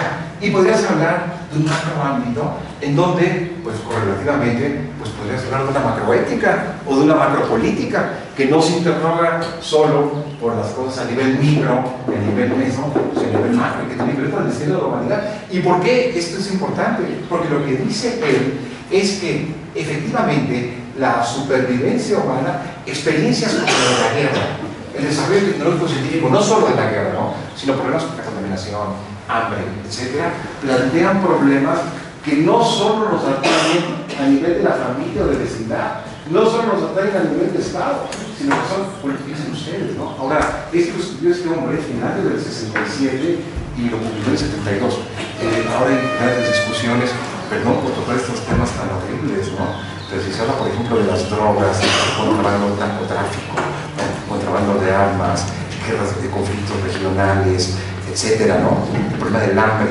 pues no son problemas que se puedan resolver en la no es uno que se a resolver a nivel micro, que tú a la ciudad de Guerrero y que des, no, este, ni siquiera a nivel nacional, ¿no? Son problemas, pues por lo menos de nivel regional, lo que implican o comportan una acción concertada de varios países, en fin, pero hay problemas como este, este la violencia, etcétera, que son, este, son eh, macroámbitos ¿no? y que requieren una respuesta que vaya más allá de una ética, voy a decirlo así, como de carácter comunitario, ¿no? sino que son problemas que ya nos competen a todos porque está en juego el destino, pues ya no solo de tu familia, ni de tu vecindario, ¿no? ni de tu comunidad, está en juego el destino de la humanidad entera. Y lo que dice este hombre es que la ética se tiene que centrar, la ética en la época de la ciencia, tiene que dar una respuesta, es importante esto, es importante esto, no lo podemos dejar de lado, pero se tiene que centrar sobre todo en este, en el macroámbito, es una macroética. Vamos a la siguiente, por favor. Vale. Entonces, eh, de lo que se trata para Carlos Apple, dice él, es de tratar de fundamentar normas éticas a partir de un principio último. Y esa fundamentación de normas éticas tiene que ser una fundamentación eh, de una, no tanto de una microética ni de una mesoética, sino de una macroética, ¿no? como la llama él aquí. Que en el momento en que él escribe esto, eh, Apple considera aquí, en ese momento, ahorita seguramente el programa sería otro, ¿no? él dice que hay en ese momento cuatro propuestas ninguna de las cuales satisface a él eh, para tratar el problema de la, fundamentación de la ética términos de una macroética. No si me van siguiendo ahí atrás con la macroética, siempre tengo la, la, idea de que este, las personas que están atrás no, me escuchan bien, pero sí me escuchan, ¿verdad? Y bien. Bueno, primero, a ver, él dice, En el momento que estoy escribiendo esto, eh, lo que quiero es una fundamentación de una macroética. Y en el momento de 67 72, estoy escribiendo esto, hay cuatro grandes propuestas en el escenario filosófico que tienen la pretensión de ofrecer una fundamentación de la macroética. Esas cuatro propuestas, que voy a enumerar a continuación, eh, son las que Apple analiza ahí, y ninguna de ellas le satisface. Él dice, no, hay que ir por otro lado, y vamos a ver cuál es la que él sí propone. Las que él, las son en aquel momento dominantes, pero que no lo conocen, la primera de ellas, la metaética. ¿Qué es la metaética? Bueno, la metaética, como ustedes saben, es una, es una propuesta, es una reflexión que se desarrolló sobre todo en el ámbito anglosajón y está vinculada, no solamente, pero sí de una manera muy importante, a una obra publicada de Richard, Richard M. Hart, Richard M. Hart, que se llama um, uh, The Language of Mods. Eh, esta obra fue publicada en los años 1952 en The Language of Mods, el lenguaje de la moral creo que la está traducida más por la UNAM, creo que por el Instituto. El lenguaje de la moral. ¿De qué se trata en el ámbito de la metaética? En el ámbito de la metaética es muy en la línea de la filosofía analítica y de la filosofía del lenguaje de corte anglosajón. Una descripción a veces del lenguaje moral. ¿Qué, son, eh, eh son la, la, es una proposición prescriptiva en donde aparece, por ejemplo, este, tú debes hacer esto, ¿no? donde aparece el verbo deber, este, out, ¿no? o sollen en alemán, conjugado, este conjugado. Eh, ¿Y cuál es, eh, qué tipo de gramática hay de las proposiciones prescriptivas que las diferencian de las proposiciones descriptivas? ¿No? Vamos a analizar los enunciados éticos qué relación tienen los enunciados éticos con los enunciados este, prescriptivos, cómo se diferencian de los descriptivos, eh, cuáles son sus reglas de conexión, etc. Las, reglas lógicas del discurso ético y los conceptos que nosotros empleamos para referirnos al, eh, fenómeno de la muerte. Es un poco la idea de, de Hart y lo que él dice aquí es que para esta metaética, sobre todo, no se puede que muere aquí, el problema que se plantea como un problema central es el problema is out, el problema, el problema ser deber. ¿Qué es el problema ser deber? Hay una, eh, es un problema que se remite a Hume, a David Hume, en el tratado de, un tratado de la naturaleza humana, uno escrito en 1739. Lo que dice Hume, en esa cita que yo les coloco ahí, eh, Hume hace una crítica a lo que él llama una falacia que él encuentra en todos los tratados de ética. Esa falacia es tratar de deducir proposiciones de enunciados prescriptivos a partir de enunciados descriptivos, a partir de proposiciones donde aparece enunciados, donde aparece la expresión ser, por ejemplo, esto es azul, no puedes eh, deducir expresiones donde aparezca deber, out to. ¿no? Eh, y esto es, una falacia, es donde dice Hume en esta palabra, dice, no puede evitar añadir estos razonamientos, dice Hume, una observación que quizás puede tener alguna importancia.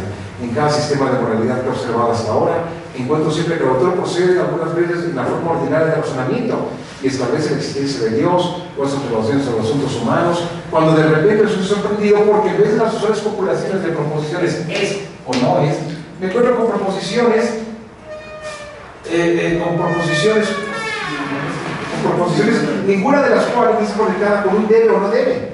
Este cambio es imperceptible, pero es sin embargo de consecuencias últimas.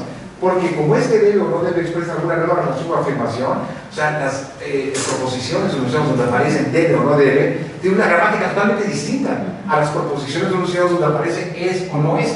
Y lo que encuentra Hume es que de estos se derivan estos, y eso no se puede hacer, es lo que dice Hume aquí. Em, pero los autores no toman comúnmente esta precaución de intentar recomendar a los lectores. Estoy persuadido que esta pequeña atención superviría todos los temas vulnerables de la moneda. Todos han pasado, se han pasado los temas de la moneda hasta ese momento, yo, brincando del ser al deber ser. Esto no se puede hacer. Eso es lo que se llama, algunos lo llaman el problema este, ser, deber, el out is out problem. Y este problema es un problema central para la ética, ¿no? Cómo este, poder evitar el paso del el ser al deber. Y para la metaética, buena parte de las filosofías morales de corte continental constantemente está pasando del ser al ser, cosa que no se puede hacer porque caeríamos en esta falacia que ya aquí nos explica. Bueno, esa es la, primera consideración, la primera propuesta. Por favor, para ir a la, siguiente. La segunda, a esta me refiero menos, por razones del tiempo, ¿eh? es el marxismo. Pero el, marxismo es una cuestión muy interesante, ¿no? Vimos las biografías de, las biografías de, de Karl Popper. No hay muchas, ¿no? En el caso de Habermas tenemos la biografía de Stefan Müller-Don, la que fue publicada, creo que fue publicada ya por Herder, ¿no? En español. No, no sé si la... No. Sí, Stefan Müller-Don publicó una gran biografía de 800 páginas sobre Habermas. Eh, tiene algunos problemas, es una biografía muy completa. No hay algo similar sobre Apple, ni en alemán, ni en inglés, ni en ninguna lengua. El libro que más se le acerca es uno de Walter Reise Schäfer, que fue publicado en la editorial Julius Verlag. Eh, eh, y, y- ah, y esto lo digo porque Carlos Popper se empezó a acercar al marxismo recién en los años, en los años 60. ¿no? Y lo que había en el marxismo, según él, es una, y, y siempre una distancia crítica. Muy interesante las observaciones dan sobre el marxismo. Y el problema del marxismo, dice él, que eh, este, em, a ver, lo voy a decir, a ver, lo puedo decir de una manera más o menos clara, ¿no? Que el marxismo realiza la mediación entre la teoría y praxis. Realiza la mediación entre la intervención activa de los sujetos como individuos o como clases en la historia y las leyes objetivas de la historia, los mezcla a tal grado en una visión teleológica de la historia. ¿no? Y lo que él dice, que cuando uno trata de encontrar una ética dentro del máximo, esto puede ser muy discutido, ¿no cierto? Cuando uno trata de encontrar una, una, una perspectiva ética dentro del máximo, eso es muy complicado porque hay una filosofía de historia, y hay una ideología, y hay una integración en un proceso histórico, eh, digamos, como podría decir, un proceso histórico eh, eh, donde están unidos en forma indisoluble el ser de las leyes objetivas de la economía, en fin, eh, con eh, la dimensión subjetiva de la intervención humana, sea individual o sea colectiva, ¿no? como clase o como individuo. Y parece que esas en algún momento se van a encontrar.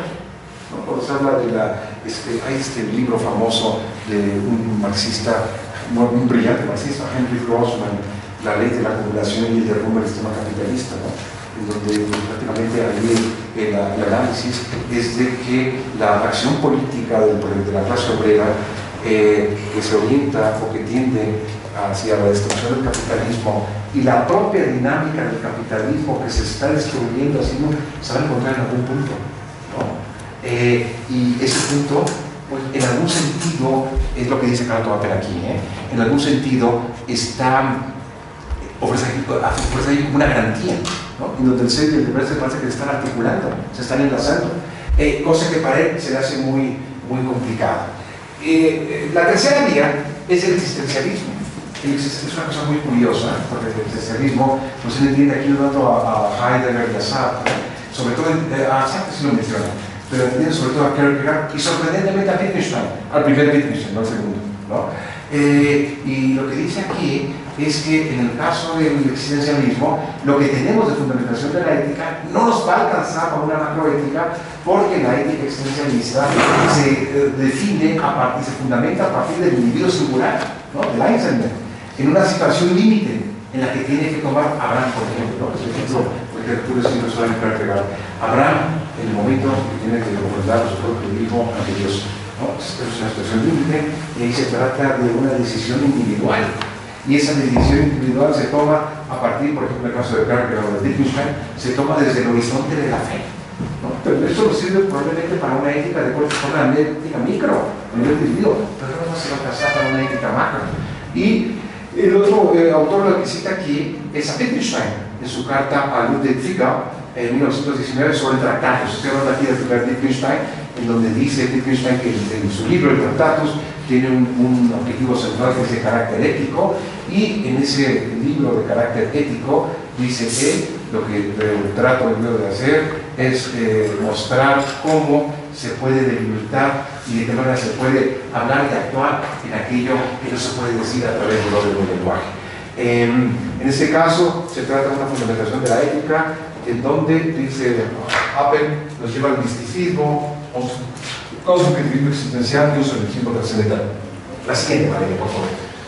Eh, y la última, la última, y, la pregunta, claro, que es la que yo les decía, para una ética de corte existencialista es si se puede fundamentar una ética que tenga pretensiones de validez trans o a partir de decisiones y creencias de individuos que son singulares, a partir de sujetos individuales. Apple piensa que no. ¿no? pero tiene razón. Y la última propuesta, recuerden, la primera era la de la metaética, la segunda era la del marxismo, la tercera era del existencialismo y la cuarta es la teoría crítica de lo que él llama ahí el neomarxismo frankfurtiano. Se refiere ahí sobre todo a Habermas y a la introducción que colocó Habermas a su libro llamado Teoría y Praxis, un libro publicado por Habermas en 63 y eh, reeditado con una introducción a la que se refiere Apple en el año de 1971. ¿Qué hace Habermas? Que Apple se hace muy interesante, el tratar de fundamentar una, positivamente la ética con una cooperación de la escuela de Erlangen. ¿Quiénes, son la escuela, ¿Quiénes están en la escuela de Erlangen? La escuela de Erlangen era una escuela que fue fundada por eh, eh, eh, Julio Lorenz, Frederick Van Bartel, y lo que querían estos hombres es tratar de vincular la lógica con procesos y con una fundamentación a partir de procesos de argumentación dialógica. Y entonces lo que dice uh, uh, aquí es que Habermas trató de fundamentar la ética con ayuda de la escuela de Erlangen en la medida en que la escuela de Erlangen encontró una fundamentación dialógica de la lógica. Bueno, ahora, ¿cuál es la propuesta de Apple? No, no lo convence ni la ética analítica, muy limitada, el marxismo hace una entre ser y debe ser a partir de la filosofía de la historia, tampoco. El esencialismo, tiene el gran problema del existencialismo de que es una ética individual y no sirve por una macroética. Eh, la teoría crítica del marxismo frankfurtiano, esta se le acerca más. Esta se le acerca más, sobre todo porque ha tratado de ofrecer una fundamentación positiva a la ética con ayuda de una visión del lenguaje que viene de la escuela de Erlangen. Y lo que propone Apple, aunque se cerca de esta, es una propuesta de que una ética a partir de una, ahí se va con mayúscula perdón, eh, de una reflexión trascendental. Y esta reflexión trascendental se realiza a partir de una reflexión, aquí lo, lo, resumo, sobre las condiciones de posibilidad y validez del discurso y de la argumentación. Entonces se trata de ver si, a ver si lo puedo expresar con claridad, si en el lenguaje, tal y como lo hemos visto nosotros aquí, hay, eh, en el lenguaje y la argumentación, hay determinadas condiciones de posibilidad del lenguaje y la argumentación que ya tienen en sí mismas una dimensión ética. Pero ahorita es la que vamos a, vamos a la, siguiente, porque ahora es que me estoy preocupando todo el tiempo. Eh, lo que dice entonces eh, Apple es que las condiciones de posibilidad y validez de la objetividad de la ciencia en el sentido en que la vimos, vinculada a la comunidad de la argumentación, vinculada al consenso ideal, etc., y de sus proposiciones, presupone la validez subjetiva de, normas, no, normal, de normas morales. Esto es, la idea del consenso, por ejemplo, la idea del consenso que está presupuesta en una argumentación, según él, ya tiene una dimensión moral, una dimensión normativa moralmente hablando, que nos puede ayudar para encontrar el punto de partida de una macroética que es la que se propone ofrecer aquí. Y entonces dice Apple, no solamente en toda ciencia, sino en la discusión, porque claro, alguien podría decir, oiga, este, pero usted y Apple nos han hablado hasta ahora de condiciones de posibilidad de la argumentación, pero en el interior de una comunidad de investigadores y de científicos. Pero ¿cómo brincamos desde la comunidad de investigadores y científicos hacia otro tipo de comunidades? Y los que no son científicos ¿Qué es lo que pasa con ellos? Y lo que dice Carlos Apple aquí es que el principio de, el principio de argumentación que subyace a la comunidad de investigadores científicos y que apunte en dirección al establecimiento de un consenso, no solamente tiene una norma, presupone una norma moral, no solamente en toda ciencia, sino en la discusión y elucidación de cualquier problema mediante la argumentación racional está en presupuesta la validez de normas éticas universales.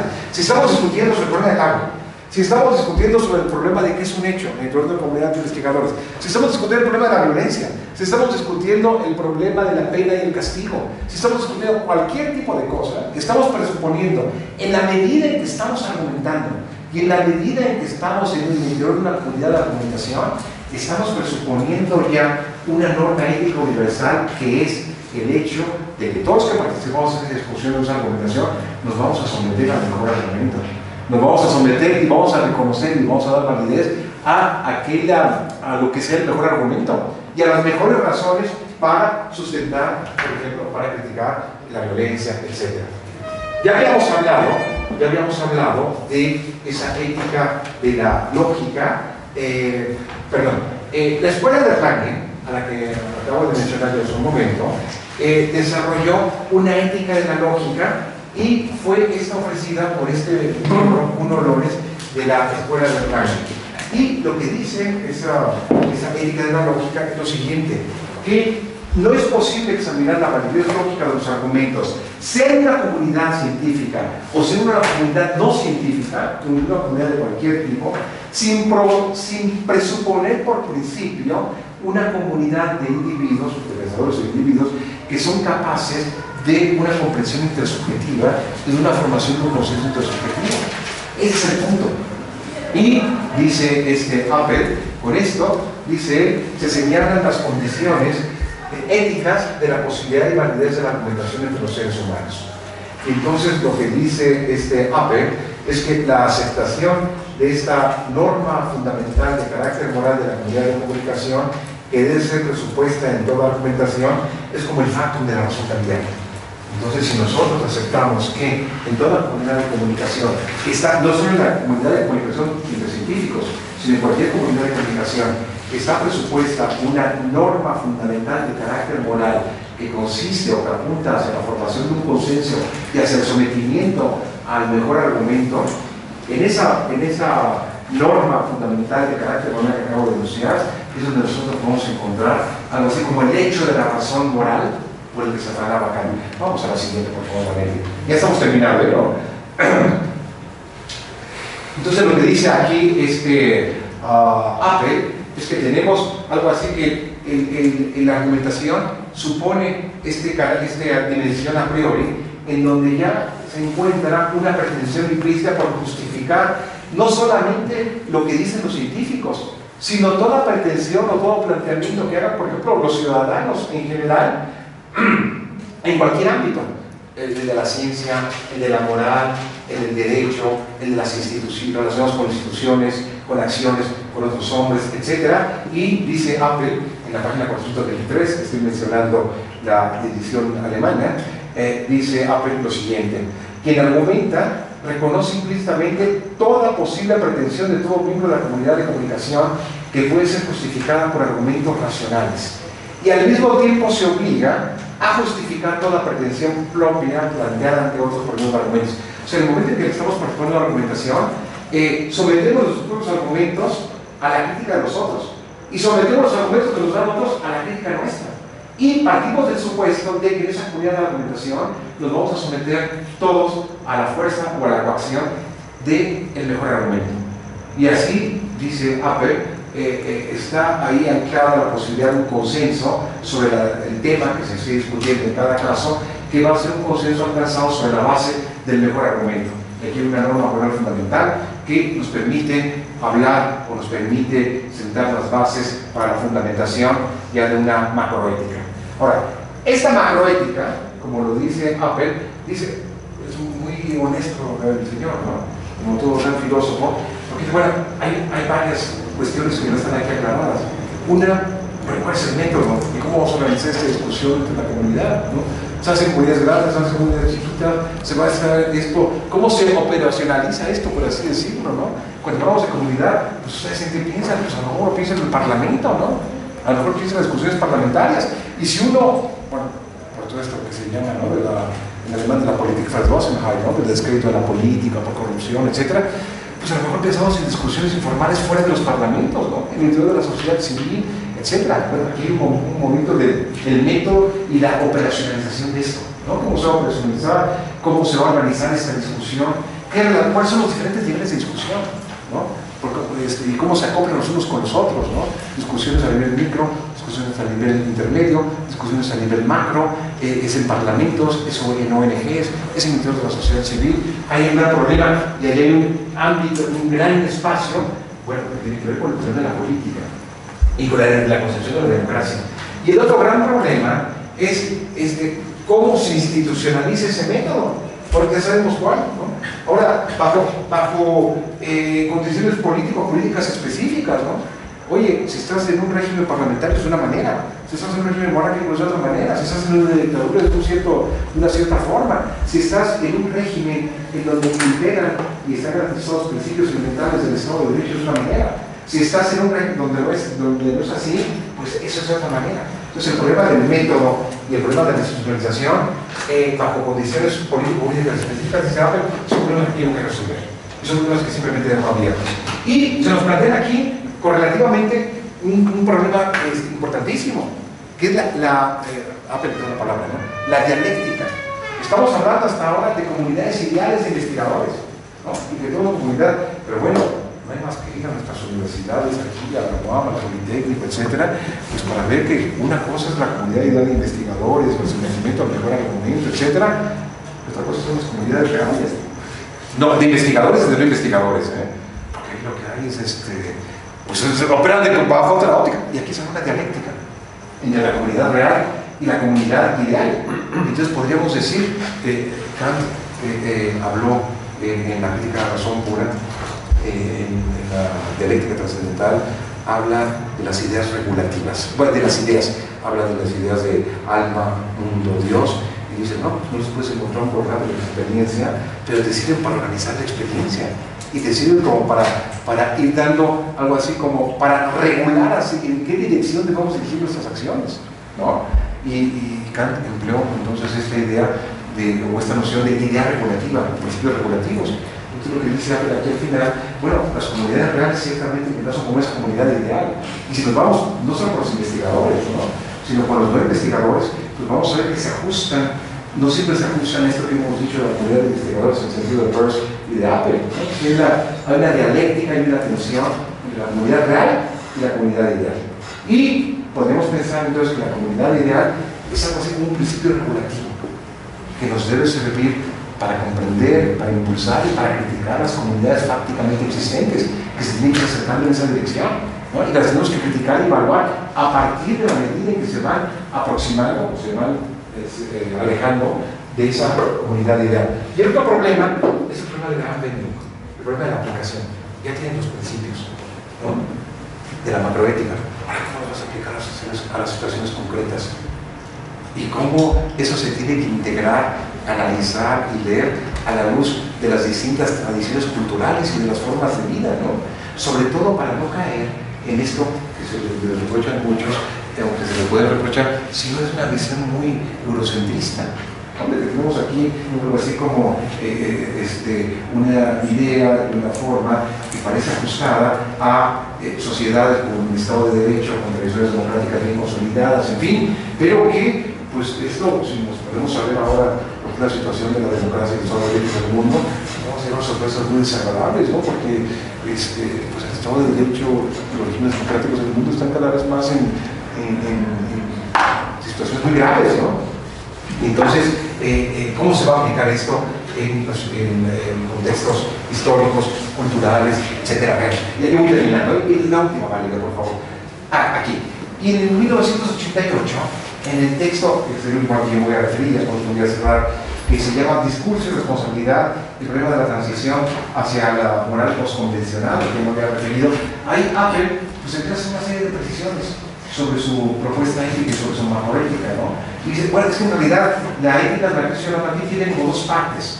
Y una, una parte A de la ética, que es la central, que se ocupa de cuestiones relacionadas con la fundamentación, la punto, que se compone, dice, de dos partes. Una es la parte A1, que está orientada a una fundamentación trascendental, que la hemos visto hasta ahora.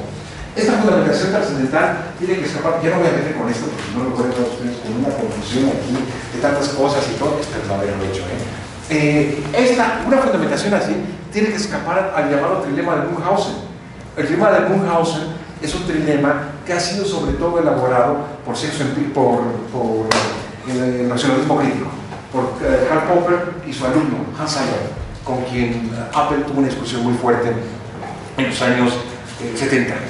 Eh, el teoría de Munchausen te dice lo siguiente, que toda tentativa por fundamentar una proposición, por fundamentar una teoría o por fundamentar una ética, según el tema de Munchausen, te, tiene, te lleva a una de estas tres posibilidades alternativas, ninguna de las cuales es deseable. La primera, el regreso al infinito. ¿no? ¿Quieres fundamentar la proposición A? Entonces, para fundamentar la proposición A, tú te vas para abajo, a una proposición A'. Y para fundamentar A', a una A2, A'2. Y para fundamentar una A3, y una A4, y una A5, y así es infinito. Toda tentativa de fundamentación, de acuerdo al tema de Munchausen, el tema de Munchausen, repito, expresado y, y, y por el racionalismo crítico de Popper y Albert, el tema de Munchausen eh, es, en realidad su primera formulación en sexo empírico. Em, eh, la segunda posibilidad es un círculo vicioso. ¿no? Eh, vas a fundamentar A a partir de B y B vas a fundamentar a partir de A. Entonces uno se fundamenta a partir del otro y un círculo vicioso que no puedes escapar. Y la tercera posibilidad es que hay una interrupción del proceso. Es, ah, para fundamentar A, recurra a B. Para fundamentar B, recurra a C. Para fundamentar C, recurra a D. Para fundamentar D, no la fundamenta. Esa se fundamenta a sí misma. Dogmatismo. Entonces, lo que dice el racionalismo crítico es que toda tentativa, a ver, ¿qué dice el racionalismo crítico y por qué esta cuestión es importante para El racionalismo crítico te dice que toda tentativa de fundamentación te va a llevar a una de estos tres procesos trilema, no dilema, sino trilema, porque son tres alternativas, ninguna de las cuales quiero tener, dice, el racionalismo crítico, con razón, o regreso infinito, o círculo vicioso, o dogmatismo, porque interrumpe el proceso de fundamentación y dices, como fíjate, ¿no? Alguien podría decir, el yo que se fundamenta a sí mismo, una atacando, etc., y que no revela, eso es dogmatismo, porque ¿de dónde sacas tú el, el, yo, o dónde sacas tú este, sujeto, en fin? Y lo que dice Apple, o la objeción que le hace Albert y Popper a Apple, es que la macroética que está proponiendo y la tentativa de fundamentación última no escapa a este dilema. Y lo que dice Apple, vamos a la, a la ya la penúltima, no, no se me que ya vamos, ya vamos llegando. Lo que dice este Apple es que la fundamentación que propone no es una fundamentación, que escapa del dilema de un porque no se trata aquí de una fundamentación, como dice aquí, no es una fundamentación, no trata de encontrar aquí un fundamento verdadero, y seguro de la fundamentación. No es un fundamento, un fundamento como un argumento para el cual se derivarán otros argumentos, y por tanto escapa el problema de Munchausen, sino que se trata de, dice él aquí, eh, eh, una fundamentación reflexiva que se eh, vincula a una respuesta a la pregunta del tipo siguiente, ¿qué debo haber reconocido de antemano para argumentar con sentido? Entonces, en toda argumentación estás presuponiendo esto que Apple dice. En toda argumentación estás presuponiendo esa norma ética fundamental y no hay ninguna argumentación que pueda contra esta. No es algo que se deriva de la argumentación, sino que es un presupuesto de la argumentación. Decía hace rato con la palabra un hintergeba. No, no puedes ir por detrás de Y negar este presupuesto es crear una contradicción performativa. Es, eh, es, una contradicción performativa. No sé si ya lo, lo han hablado aquí en otros, sí, con, con quien conduce. Con Mario Rojas. Con, con Mario Rojas. Sí, pues creo que es una contradicción performativa, ¿no? Y esa contradicción performativa es como un poco como la estrategia que usan los Habermas como habla para criticar a, a Foucault, a Derrida, etc., ¿no? Que están criticando la razón, pero al mismo tiempo están presuponiendo, ¿no? La, la racionalidad del discurso, en fin. Y entonces lo que él dice es que toda argumentación, independientemente de la tradición, de la cultura particular, se plantean siempre pretensiones de valores universales, que son, primero, eh, eh, una, una, pretensión de, de, del sentido, ¿no? de que en realidad estamos presuponiendo que nos estamos entendiendo con nosotros, y que nosotros estamos comprendiendo lo que estamos diciendo nosotros, y que nosotros comprendemos lo que dicen nosotros. Hay una pretensión de las redes de verdad, ¿no? Formulamos proposiciones descriptivas que definen hechos todas en el mundo, una proposición de rectitud, cuando hablamos de, de, la moral o del derecho, y una proposición, una presuposición, una pretensión de sinceridad o de veracidad en aquellas pretensiones que son declarativas proposiciones y aquellas afirmaciones que son de carácter expresivo. Entonces lo que trata aquí de demostrar es que en la argumentación siempre se plantean algunas de esas pretensiones y esas pretensiones pueden ser elucidadas y eh, a partir justamente de la argumentación. Lo que resulta de esto es como dice algo así como el socialismo lógico del que ya había hablado Charles Andrés. Y nos vamos ya, creo que es la última que viene. Gracias. Esa es la parte A, repito, dice, tiene la parte de la fundamentación. Esa fundamentación, la fundamentación lleva la parte A1. Esa, eh, la parte A tiene una A1 y una A2, y la A2 es una aplicación, dice, bajo condiciones ideales. La parte B, la parte B, Apple, digamos, es centrado, dice él, sobre todo en la A1 y en la A2, que es la fundamentación y la aplicación bajo condiciones ideales. Eh, la parte B, que es la esclarecer los problemas relacionados con la aplicación bajo condiciones particulares. esa es una parte central eh, en donde esta fundamentación, estos principios universales, pues tienen que ser integrados y mediados con las culturas, con las formas de vida, con lo que, con lo que Hegel llamaba la Sittlichkeit, con lo que Aristóteles llamaba el ethos, etc. Y ver de qué manera se puede establecer una mediación y una aplicación con esas tradiciones y formas de vida que son siempre particulares, que es como todo un campo abierto. ¿no? Este, ustedes son demasiado jóvenes, ¿no? a mí me tocó vivir este, la discusión cuando Apple vino aquí a discutir estas cuestiones y decía, yo creo que con razón, ¿eh? Que buena parte de las objeciones que se hacían aquí cuando se hablaba de la ética de liberación, etc., esas, esas preguntas pertenecen tanto a la parte A como a la parte, a la parte Bueno, creo que esa es la última, ¿no, Valeria? Me parece. Sí, bueno, eso es lo que yo les quería hablar. Eh, la segunda parte era la de Habermas, pero yo no puedo llegar a esa. Porque lo que dice Habermas entonces es que lo que hay que hacer es una reformulación trascendental del imperativo categórico kantiano. Entonces, en lugar del imperativo categórico kantiano, lo que vas a tener es la, la regla D del discurso, en donde él dice que eh, em, eh, se va a aceptar como válida toda aquella norma en cuya eh, discusión hayan participado todos los afectados por ella. Entonces, en lugar del imperativo categórico, tienes esta, esta norma, este principio de que viene de la ética del discurso, que está vinculado a la argumentación. Vamos a aceptar como válidas todo aquello que resulte de una argumentación en la que hubieran participado o en la que participaran todos los afectados por eh, la norma o por el principio en cuestión. Y no puede haber ninguna exclusión, ese es el punto, ¿no? ni de género, ni de raza, ni de este, exclusión cultural, eh, de ningún tipo. Y eh, lo esto lo plantea Habermas de una manera muy curiosa en un texto llamado en 1982, que se llama La ética del discurso, de Notas para un programa de fundamentación. Muy interesante. Que en un texto publicado en el año de 1986, eh, eh, que fue publicado con el título Aclaraciones a la ética del discurso, Habermas este, responde a algunas objeciones.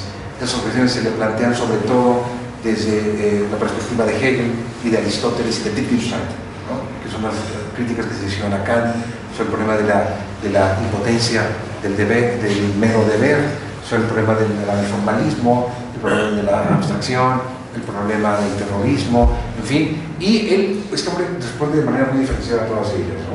Y hay al mismo tiempo, cosa de la que no puedo hablar aquí también, eh, eh, el momento en que Habermas cumple los 65 años, le organizan sus alumnos un, un, Festschrift, que es una especie como de, escrito de libro en donde se discuten todas las propuestas de Habermas y eh, este Festschrift se llama Zwischenbetrachtungen im Prozess der Aufklärung. Eh, eh, es, es, como se puede llamar, observaciones o intermedias, algo así en el proceso de ilustración, y hay varios artículos, y entre ellos uno de Carl ¿no? y ese es muy interesante porque ahí claro toda habla de las diferencias entre Habermas y él y, se llama el artículo Mit Habermas gegen Habermas Denken ¿no? con Habermas contra Habermas y ahí empieza a plantear los acuerdos que hay entre ellos y las distinciones un artículo muy Apple pues podrá haber tenido eh, o podemos haber tenido unas diferencias que querramos con él pero un tipo de una claridad expositiva y argumentativa pero este, impresionante, ¿no? Yo cuando lo vi hablar aquí en Turing y todo, siempre me fue maravillado, aún cuando no estuviera de con él, este, muy diáfano, ¿no? Su argumentación, muy claro, todo muy bien estructurado. Pero bueno, esas serán cosas para otro asunto, porque en el caso de Habermas tendríamos que empezar desde el texto de, de la estructura de Offendickheit, ¿no? Es un gran, gran texto, de los mejores textos de Habermas, ¿no? Su, disertación, su habitación sobre el problema del espacio público, ¿no? porque ahí él plantea todo este problema de la comunidad, la comunicación, etc., pero llega por otra vía. No llega, por tanto, por la vía de la filosofía, sino llega por la vía de una reconstrucción histórico-normativa del concepto de espacio público, siguiendo sobre todo el ejemplo de Inglaterra, de Francia y de Alemania, cómo se va formando el espacio público. El espacio público es un libro que hay que entenderlo en el marco de un debate con Hannah Arendt. Este año cumple 60 años de haber publicado eh, The Human Condition, publicó en 58, que la idea del espacio público en, en, en sigue sobre todo el modelo aristotélico. Lo que quiere recuperar la idea del espacio público, pero siguiendo un modelo no antiguo, Aristóteles, sino moderno, el espacio público este, de la época de la Ilustración. y cómo en la noción de espacio público hay la idea de que se pueden dirimir los asuntos centrales de una sociedad a partir de una discusión eh, eh, argumentativa, abierta e ilimitada entre los ciudadanos. Bueno, vamos a dejar esto ahí. sí. Si hay alguna observación, pregunta, sugerencia, eh, inquietud, es, el momento de, de plantearla, ¿no? Si es que me está cansado. Sí, si quieren hacemos una ronda de algunas preguntas.